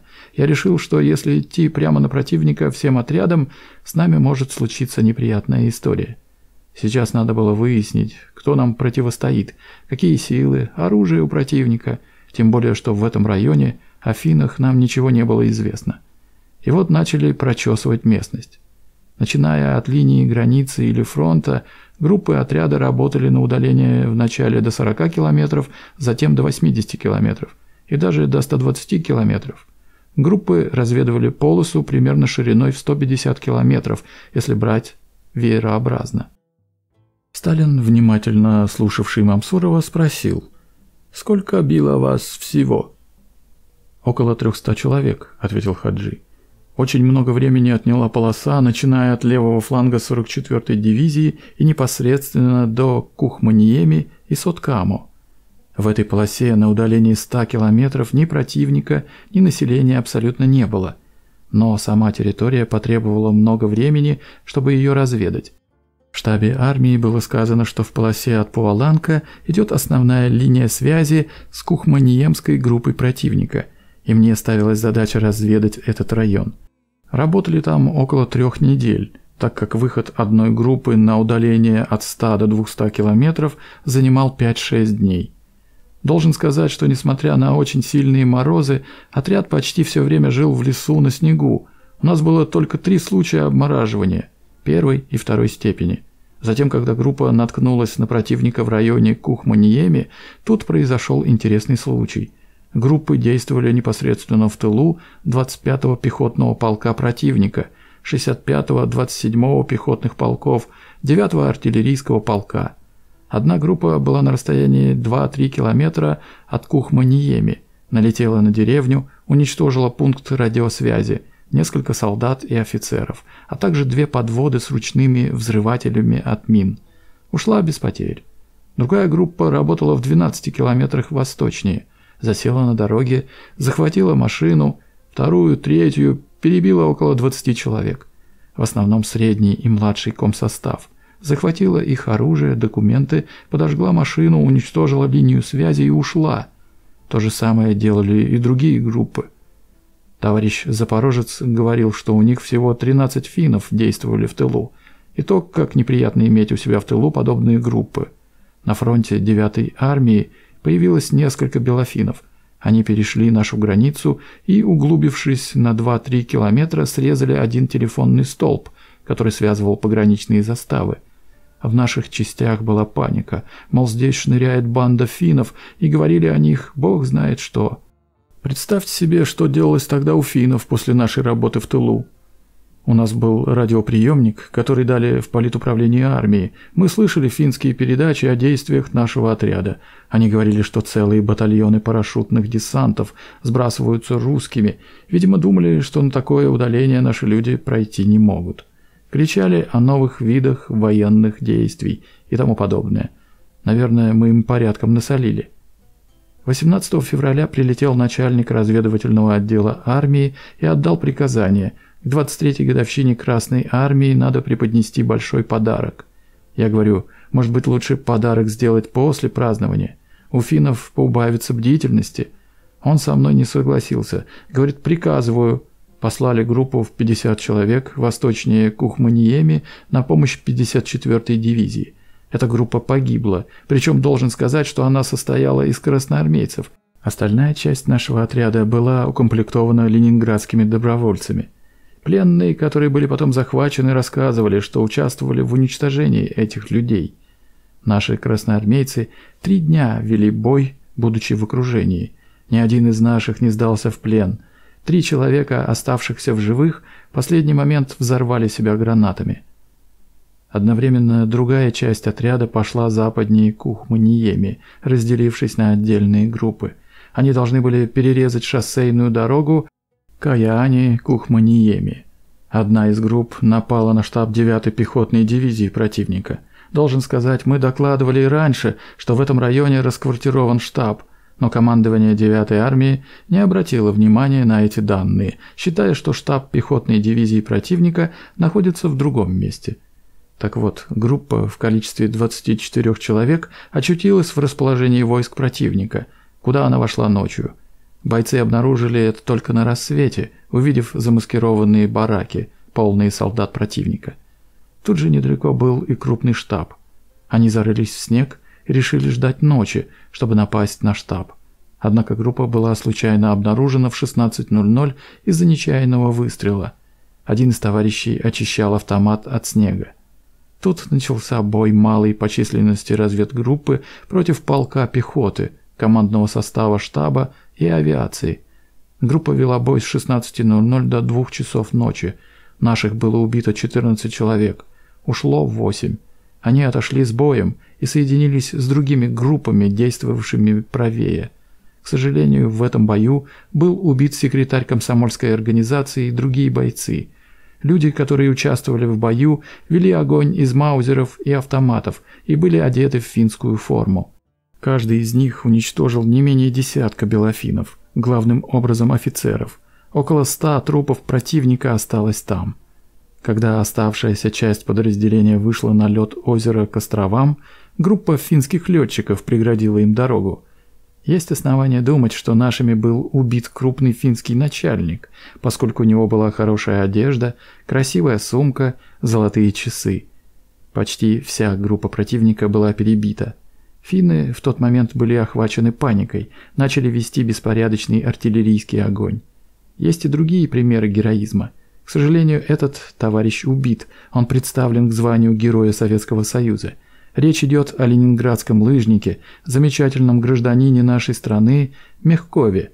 С группой лыжников 13 человек для того, чтобы выяснить наличие войск в районе Кухманиеми, в течение 23 часов он совершил 90-километровый марш – это на лыжах, когда человек утопает выше колена в снегу. Правда, у него была отменная лыжная подготовка, да и людей в его группу мы подобрали хороших. Западнее Кухманиеме он влетел в расположение финской зенитной батареи, убил офицера и еще несколько финнов, поднял панику, узнал, что там есть зенитная батарея, несколько пехотных рот, через них проскочил и вернулся – его с бойцами окружил в одной деревушке противник, силой до роты с пулеметами, но они стойко дрались, нанесли большие потери противнику и вышли из окружения, пробились гранатами. Правда, Мягков потерял одного из лучших бойцов отряда. Товарищ Мягков провел ряд замечательных операций. Жаль, что к концу событий погиб. Нам учить надо людей. Мы работали всего месяц с лишним. Я считаю, что если бы у меня были подготовленные еще в мирное время бойцы, то удалось бы довольно много вреда нанести финнам. Должен сказать, что отряду, который был у меня сформирован из ленинградских добровольцев-лыжников, очень тяжело приходилось. Тяжелее, чем частям, которые находились на фронте. Однако можно с гордостью сказать, что это замечательные люди нашей Родины – я считаю, что необходимо решить вопрос о создании специальных частей в ряде округов. Надо начинать их готовить. В составе армии эти части принесут большую пользу, выполняя помимо специальной работы задачи дальней разведки. В конце своего выступления Мамсуров резко критиковал Мехлиса. Начальник политуправления не ожидал такого. Мехлис побледнел и бросился в атаку. «Это все клевета. Я вас видел один-два раза. Мамсуров спокойно ответил. «Мне клеветать нечего, я говорю то, что есть». Мехлис вновь подскочил. «Это сплетня». На сей раз не выдержал Сталин. «Мамсуров сказал правду», — глухо отозвался он. «Нам нужно уважать то, что говорит товарищ, работающий на фронте. Мне говорил об этом еще один товарищ». «Хорошо бы его назвать», — петушился Мехлис. «Не буду называть», — ответил Сталин. «Он сказал мне, Молотову и Ворошилову. Говорить надо в открытую», — не унимался Лев Захарович. «Рычагов», — сказал Сталин. Он помолчал и добавил, «О клевете не может быть и речи. Товарищ Мамсуров говорит у товарища Рычагова такое же мнение». В зале наступила гнетущая тишина. Собравшиеся словно оцепенели перерыве Хаджи Мамсуров вышел в холл. К нему подходили командиры, одобрительно жали руки, поддерживали. И тут он увидел своего старого знакомого, генерала Бадегу, Павлова. Он подошел, поздоровался и, понизив голос, насмешливо сказал. «Ксанти, не пропал ты, фашист тебя не убили, теперь свои убьют. Гляжу я на тебя и не пойму, дурной ты, чешо?» Так и сказал. «Дурной ты, чешо?» Мамсуров тогда и не понял, что означало это «чешо». Позже значение украинского оборота объяснил ему Кузьма Деревянко, начальник штаба, в его особой лыжной бригаде, и они долго смеялись. Хотя в тот апрельский день сорокового года полковнику Хаджи Мамсурову, откровенно говоря, было не до смеха. Он обрел могущественного и коварного врага в лице Льва Мехлиса. Однако враги никогда не пугали Хаджи. Наш комдив удалой. Шел четвертый год Великой Отечественной войны. Комдив генерал Хаджи Мамсуров верхом на лошади скакал в полк Автодиева. Его вторая гвардейская кавалерийская дивизия, прорвав оборону немцев у города Кросна, вела бои в предгорьях Карпат. Впереди была Чехословакия, но фашисты не собирались пускать кавалеристов в Карпаты. Завязались тяжелые ожесточенные бои. На острие атаки его соединения был полк Автодиева. Братьев Автодиевых хорошо знали и любили в дивизии. Младший Ваган погиб в рукопашном бою под Гродно. Генерал помнил его еще курсантом. Старший недавно возглавил полк после того, как Мамсуров отстранил от командования полковника Мизерского. Когда комдив вспоминал о Мизерском, внутри все клокотало. Этот холеный бездельник не раз подводил в критическую минуту – а то, что случилось во время тяжелых боев под Кросно, стало последней каплей. Ставропольский добровольческий полк, действуя на левом фланге дивизии, продвинулся вперед на 15 километров. Пехотинцы Москаленко тоже хорошо поддержали кавалеристов, однако полк Мизерского топтался на месте. Мамсуров пытался связаться со штабом Мизерского по телефону, но ему сказали, что комполка на месте нет, он в тылу, километрах в десяти от переднего края. Камдиев приехал в полк, нашел Безерского. Тот мирно спал. Генерал поднял его с постели и дал два часа на сборы, и чтоб духу твоего не было в дивизии, пригрозил Мамсуров. А вместо Мизерского назначили храброго толкового офицера Абдулу Автодиева. Родные братья Автодиевы были очень разными. Младший Ваган, стройный, красавец, отменный кавалерист, а старший – огромный, кряжестый, с некрасивым каким-то зверским лицом – Недавно его ранило, и товарищи подтрунивали над ним, мол, Автодиев получил ранение века. А вышло так, что в бою ему в лицо попала щепка, Абдулла долго сокрушался. Ранение должно быть металлом, а не деревянной щепкой. Это позор, считал офицер. У Автодиева душа была чистая и добрая, как у ребенка.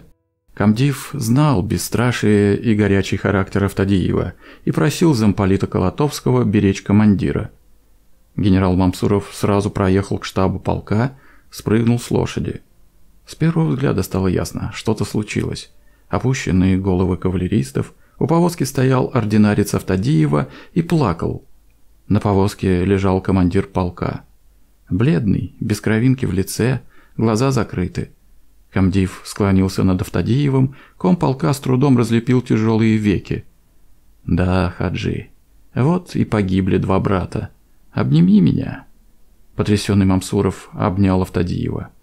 «Ухожу вслед за братом», — еле слышно прошептал Абдулла. Камдив вскинул голову, слезы душили его. Сентябрьское солнце садилось за вершины гор, охваченные осенним пламенем багрянца. Эта тишина рвала сердце. Хотелось выть волком. Автодиев умирал на его руках. Вечером комдив Мамсуров возвратился в штаб дивизии. Он долго сидел за столом над раскрытой картой.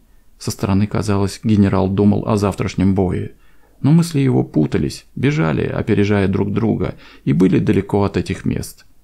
Стоя у повозки с телом погибшего фронтового товарища, Хаджи Мамсуров, может, впервые за столько лет войны остро почувствовал, как страшно он устал. Шел уже четвертый год войны. Как далек был сегодня тот 41-й. Белоруссия, Смоленщина, потом Ленинград. В августе 1941 года, когда фашисты прорвали наш фронт у Чудова его полковника Мамсурова назначили командиром 311-й стрелковой дивизии. Сказали одно – ни шагу назад. И он держался зубами за тот клочок земли, который отвели его дивизии. Отступать было некуда, дальше Ленинград. В конце месяца на переднем крае его ранило в обе ноги и в руку. После госпиталя принял другую дивизию, 114-ю, кавалерийскую. Потом был 7-й КАВ-корпус куда его перевели заместителем командира. Но в августе 1942 года новое назначение начальником Южного штаба партизанского движения. Через четыре месяца он уже начальник оперативного отдела, помощник начальника Центрального штаба партизанского движения. В марте Хаджи возвращается в главное разведуправление, но он рвался на фронт. И, наконец, в апреле 1943 года его настойчивым просьбам уступили – Полковник Мамсуров назначен командиром 2-й гвардейской Крымской кавалерийской дивизии Юго-Западного фронта. Дивизия была знатная, когда-то ею командовал Григорий Котовский. Бойцы немолодые, средний возраст около 50 лет, опытные, обстрелянные. Большинство казаки, но были еще и те, кого под знаменами первой конной армии водил в бой сам Семен Буденный. Мамсуров сжился – прикипел сердцем к этой ставшей родной для него дивизии. Ему будут предлагать корпус. В ноябре 43-го вызовет к себе генерал Черняховский и скажет «Ну что, Мамсуров, принимай стрелковый корпус». Но Хаджи откажется. Посчитает, что на дивизии он принесет больше пользы. В декабре 43-го и в январе 44-го такие же предложения поступят уже от генерала Ватутина. Мамсуров поблагодарит за доверие, но останется верен второй кавалерийской. Сколько пройдено с ней, с этими удивительными людьми. Вспоминался горячий бой под Киевом, и тот испуганный молоденький сержант, который бежал вместе с красноармейцами с передовой, да наткнулся на Камдиева. «Стой!» — крикнул Мамсуров. «Куда бежишь?» Сержант остановился как вкопанный, увидев перед собой полковника. Камдив знал, перед ним артиллерист. Где твое орудие? А пилотка? Где пилотка?» Сержант замялся. «Товарищ полковник, там немецкие танки. Много танков». Камдив был вне себя. «Так ты немцам отдал орудие, паршивец? А ну, как отдал, так и назад отбей. И пилотку свою найди. Какой же ты мужик и солдат, коли орудие отдал, пилотку потерял?» Сержант испуганно вытянулся и выдохнул. «Отобью, товарищ полковник». Он действительно отбил собрал красноармейцев, попросил десяток гранат и пошел в контратаку, вернул орудие и пилотку нашел. Дальше воевал героически, как и все бойцы Мамсурова. Тогда его дивизия в составе Кавкорпуса форсировала Днепр, прорвала немецкую оборону и захватила плацдарм, обеспечив переправу частям 60-й армии. А когда немцы, собрав силы в кулак, пытались прорваться к переправам 60-й армии, на их пути встали кавалеристы Мамсурова. 5, 6, 7 ноября 43 года дивизия освобождала Киев. Дальше прорвали оборону немцев на реке Ирпень, севернее Киева, и стремительным ударом оседлали Киево-Житомирское шоссе, отрезав пути отхода фашистам. 11 ноября дивизия овладела городом Коростышев, а 12 – Житомиром, продолжая наступать на юго-запад. Однако на войне случается всякое. Порою так складывается обстановка, что передовые части наступающих войск далеко отрываются от главных сил – их коммуникации растягиваются, фланги становятся уязвимыми для контрударов противника.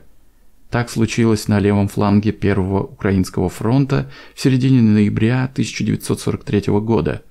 Соединения Мамсурова и другие части оказались в тяжелом положении. Против них немцы бросили танковые и моторизованные войска.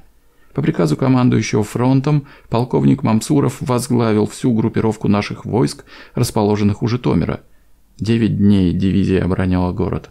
Численность противника на некоторых участках была в 10 раз больше наших войск.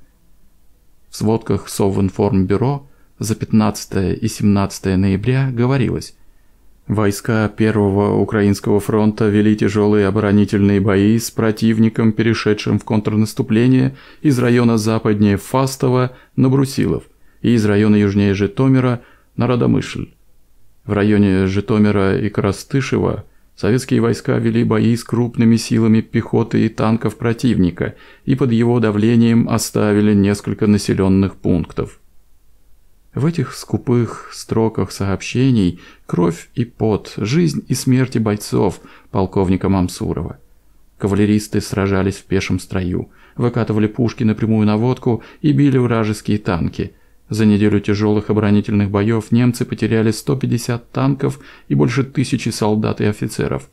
Но численное превосходство было за врагом. 19 ноября по приказу командования Житомир был оставлен. Конники Мамсурова отступили. За умелое руководство дивизией, отвагу и героизм комдив Хаджи Мамсуров был награжден орденом Суворова второй степени и стал генерал-майором. В декабре дивизия оборонялась на участке города Малин, а в январе новое наступление в направлении Сарны-Ковель. Условия были тяжелейшие. Местность лесисто-болотистая, да как раз ударила оттепель. Войска двигались по раскисшим лесным дорогам, в ледяной воде, тащили на себе боеприпасы, минометы, оружие.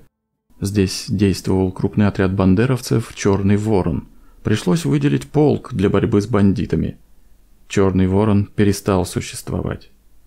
Форсировав с боями реку Стырь, кавалеристы вышли на фланги и в тыл крупным Новоград-Волынской и Ровенской группировкам фашистских войск. Соединение Мамсурова имело задачу развивать удар в направлении Маневичи-Ковель и сходу овладеть городом Ковель. Но 28 января штаб фронта изменил задачу второй КАВ дивизии и повернул ее на юг с целью взятия города Луцка – уже на следующий день кавалеристы вели бои в районе населенного пункта Колки. Фашистское командование не сразу осознало, что в тыл его группировки выходит крупное кавалерийское соединение. Разобравшись в ситуации, немцы бросили против второй КАВ-дивизии авиацию. Правда, к тому времени у дивизии было хорошее авиационное прикрытие. В район Колки фашисты выдвинули кавалерийскую дивизию, переброшенную из Дании – в ходе упорных боев 29 и 30 января немецкие кавалеристы понесли тяжелые потери под ударами наших войск. А уже на следующий день дивизия Мамсурова захватила город Рожище и вела бои в районе населенного пункта Киверце. В оперативной сводке штаба фронта говорилось в результате удара частей 2-й гвардейской кавалерийской дивизии 1 февраля 1944 года практически вся группировка фашистских войск в Киверце была уничтожена, в том числе и только что переброшенный из района Ровно батальон пехоты.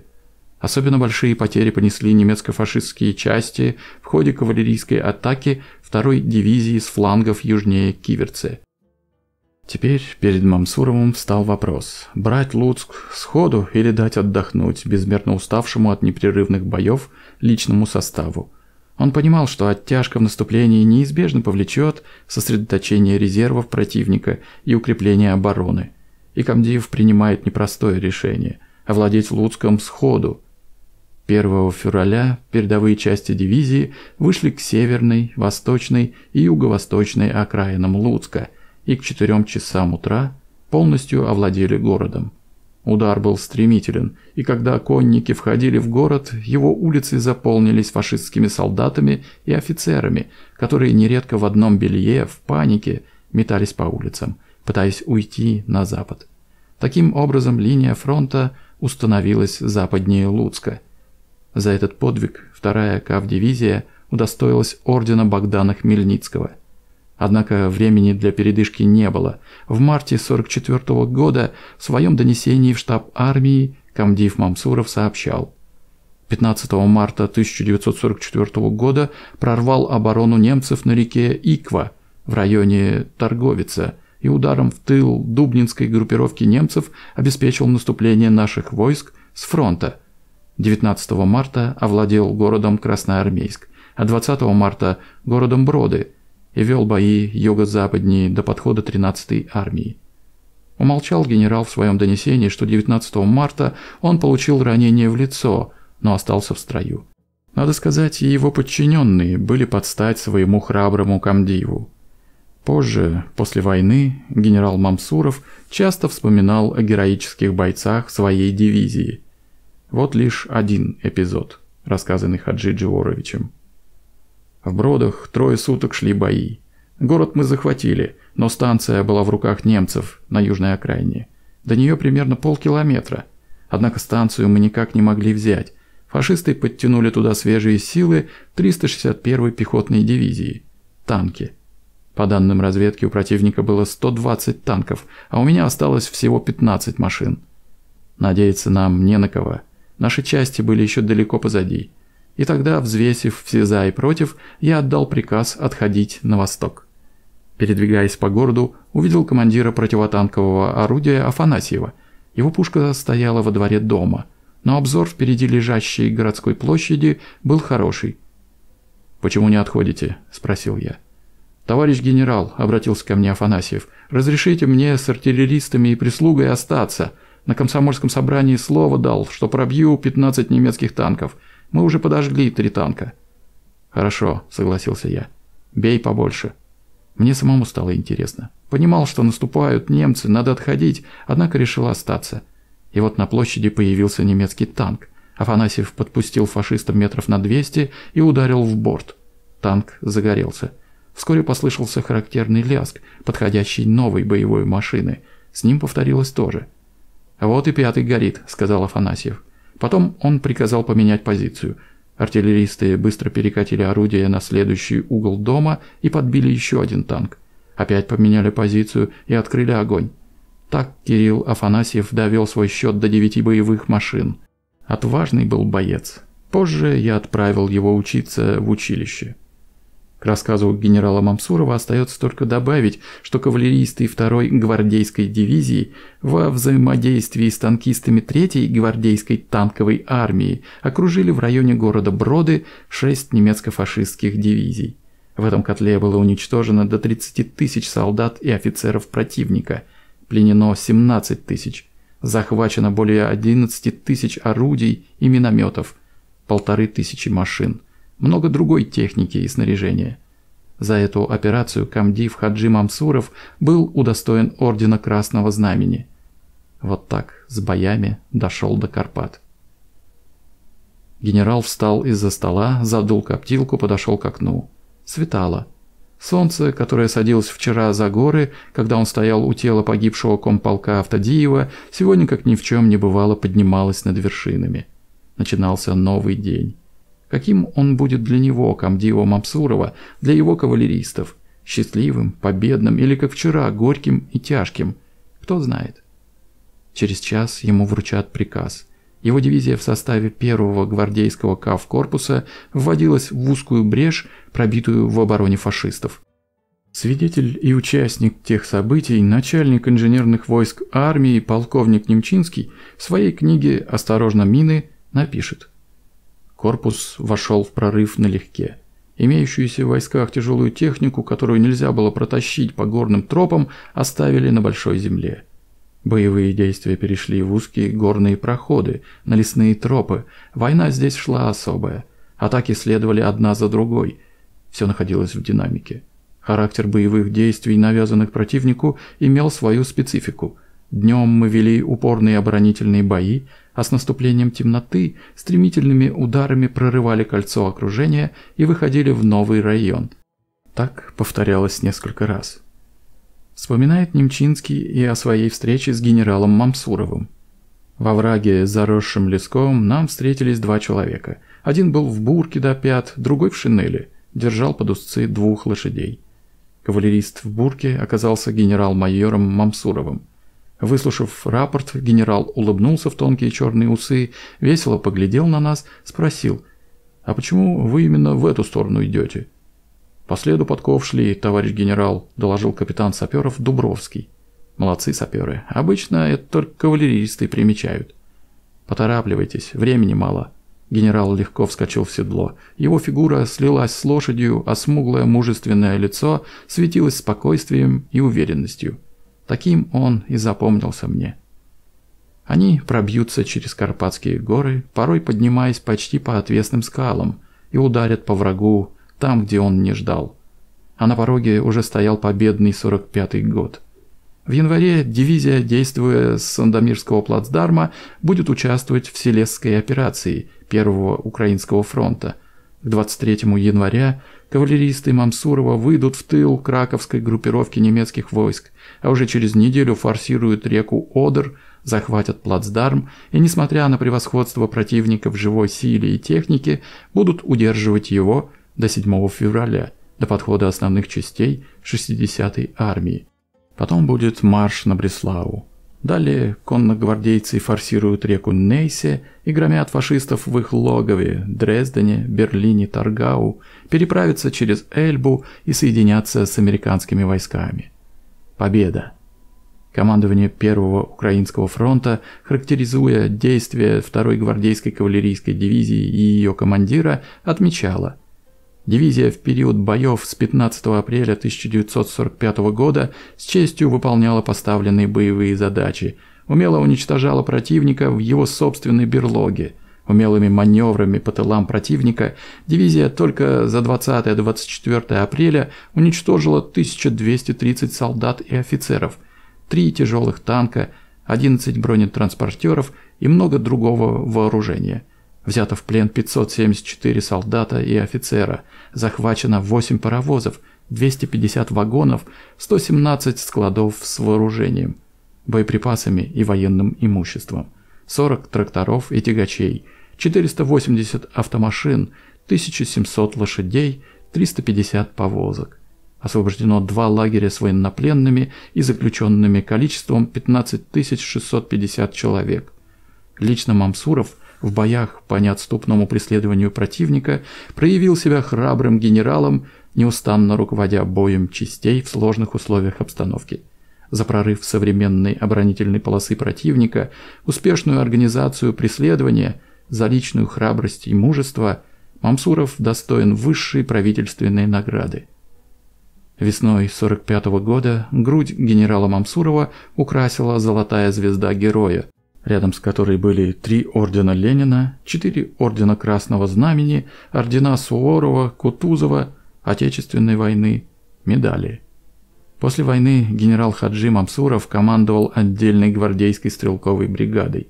В 1948 году окончил военную академию Генштаба и был назначен командиром механизированной дивизии, потом командиром стрелкового корпуса и командующим армией. В 1957 году его переводят в Москву заместителем начальника Главного разведывательного управления Генштаба Вооруженных сил Советского Союза. И вот тут разгорится скандал, который долгие годы будет сопровождать имя Хаджи Мамсурова. Сегодня этот случай стал уже легендой, и даже ветераны ГРУ не могут толком объяснить, как и почему такое произошло. Известно только одно. Маршала Георгия Жукова обвинили в подготовке государственного переворота и сняли с поста министра обороны. На пленуме Центрального комитета партии Никита Хрущев заявил, что Мамсуров оказался настоящим коммунистом, он пришел в ЦК и рассказал о диверсионной школе, которую открыл Жуков без ведома руководства страны. Откровенно говоря, непонятно все это – Мамсуров сам от корней волос разведчик-диверсант, осознававший роль и задачи сил специального назначения, и вдруг выступил против, через голову руководства Минобороны, прибежал жаловаться в ЦК. Не в его это характере. Давайте разберемся подробнее. Подстава от Никиты Хрущева. Сдается, что эту историю наиболее правдоподобно изложил друг Хаджи Мамсурова, тоже военный разведчик, генерал Михаил Мильштейн, в своей книге «Сквозь годы войн и нищеты». «Мы были близки с ним», – пишет Мильштейн, – «до последнего дня его жизни, и я горжусь этой дружбой». После войны Мамсуров окончил Академию Генерального штаба, и через некоторое время его приняли на работу заместителем начальника ГРУ. В то время, когда министром обороны был маршал Советского Союза Жуков – Начальником главного разведывательного управления работал генерал армии Сергей Матвеевич Штеменко. Вот что мне в свое время поведал Мамсуров. Об этом я еще никому не рассказывал. Незадолго до поездки в Югославию Георгий Константинович Жуков вызвал его к себе и поделился с ним своим решением о формировании бригад специального назначения, исходя из возможного характера будущих военных действий в том регионе. Эти бригады должны были быть сравнительно небольшими, до двух тысяч человек, вооруженные самым современным и мощным легким оружием.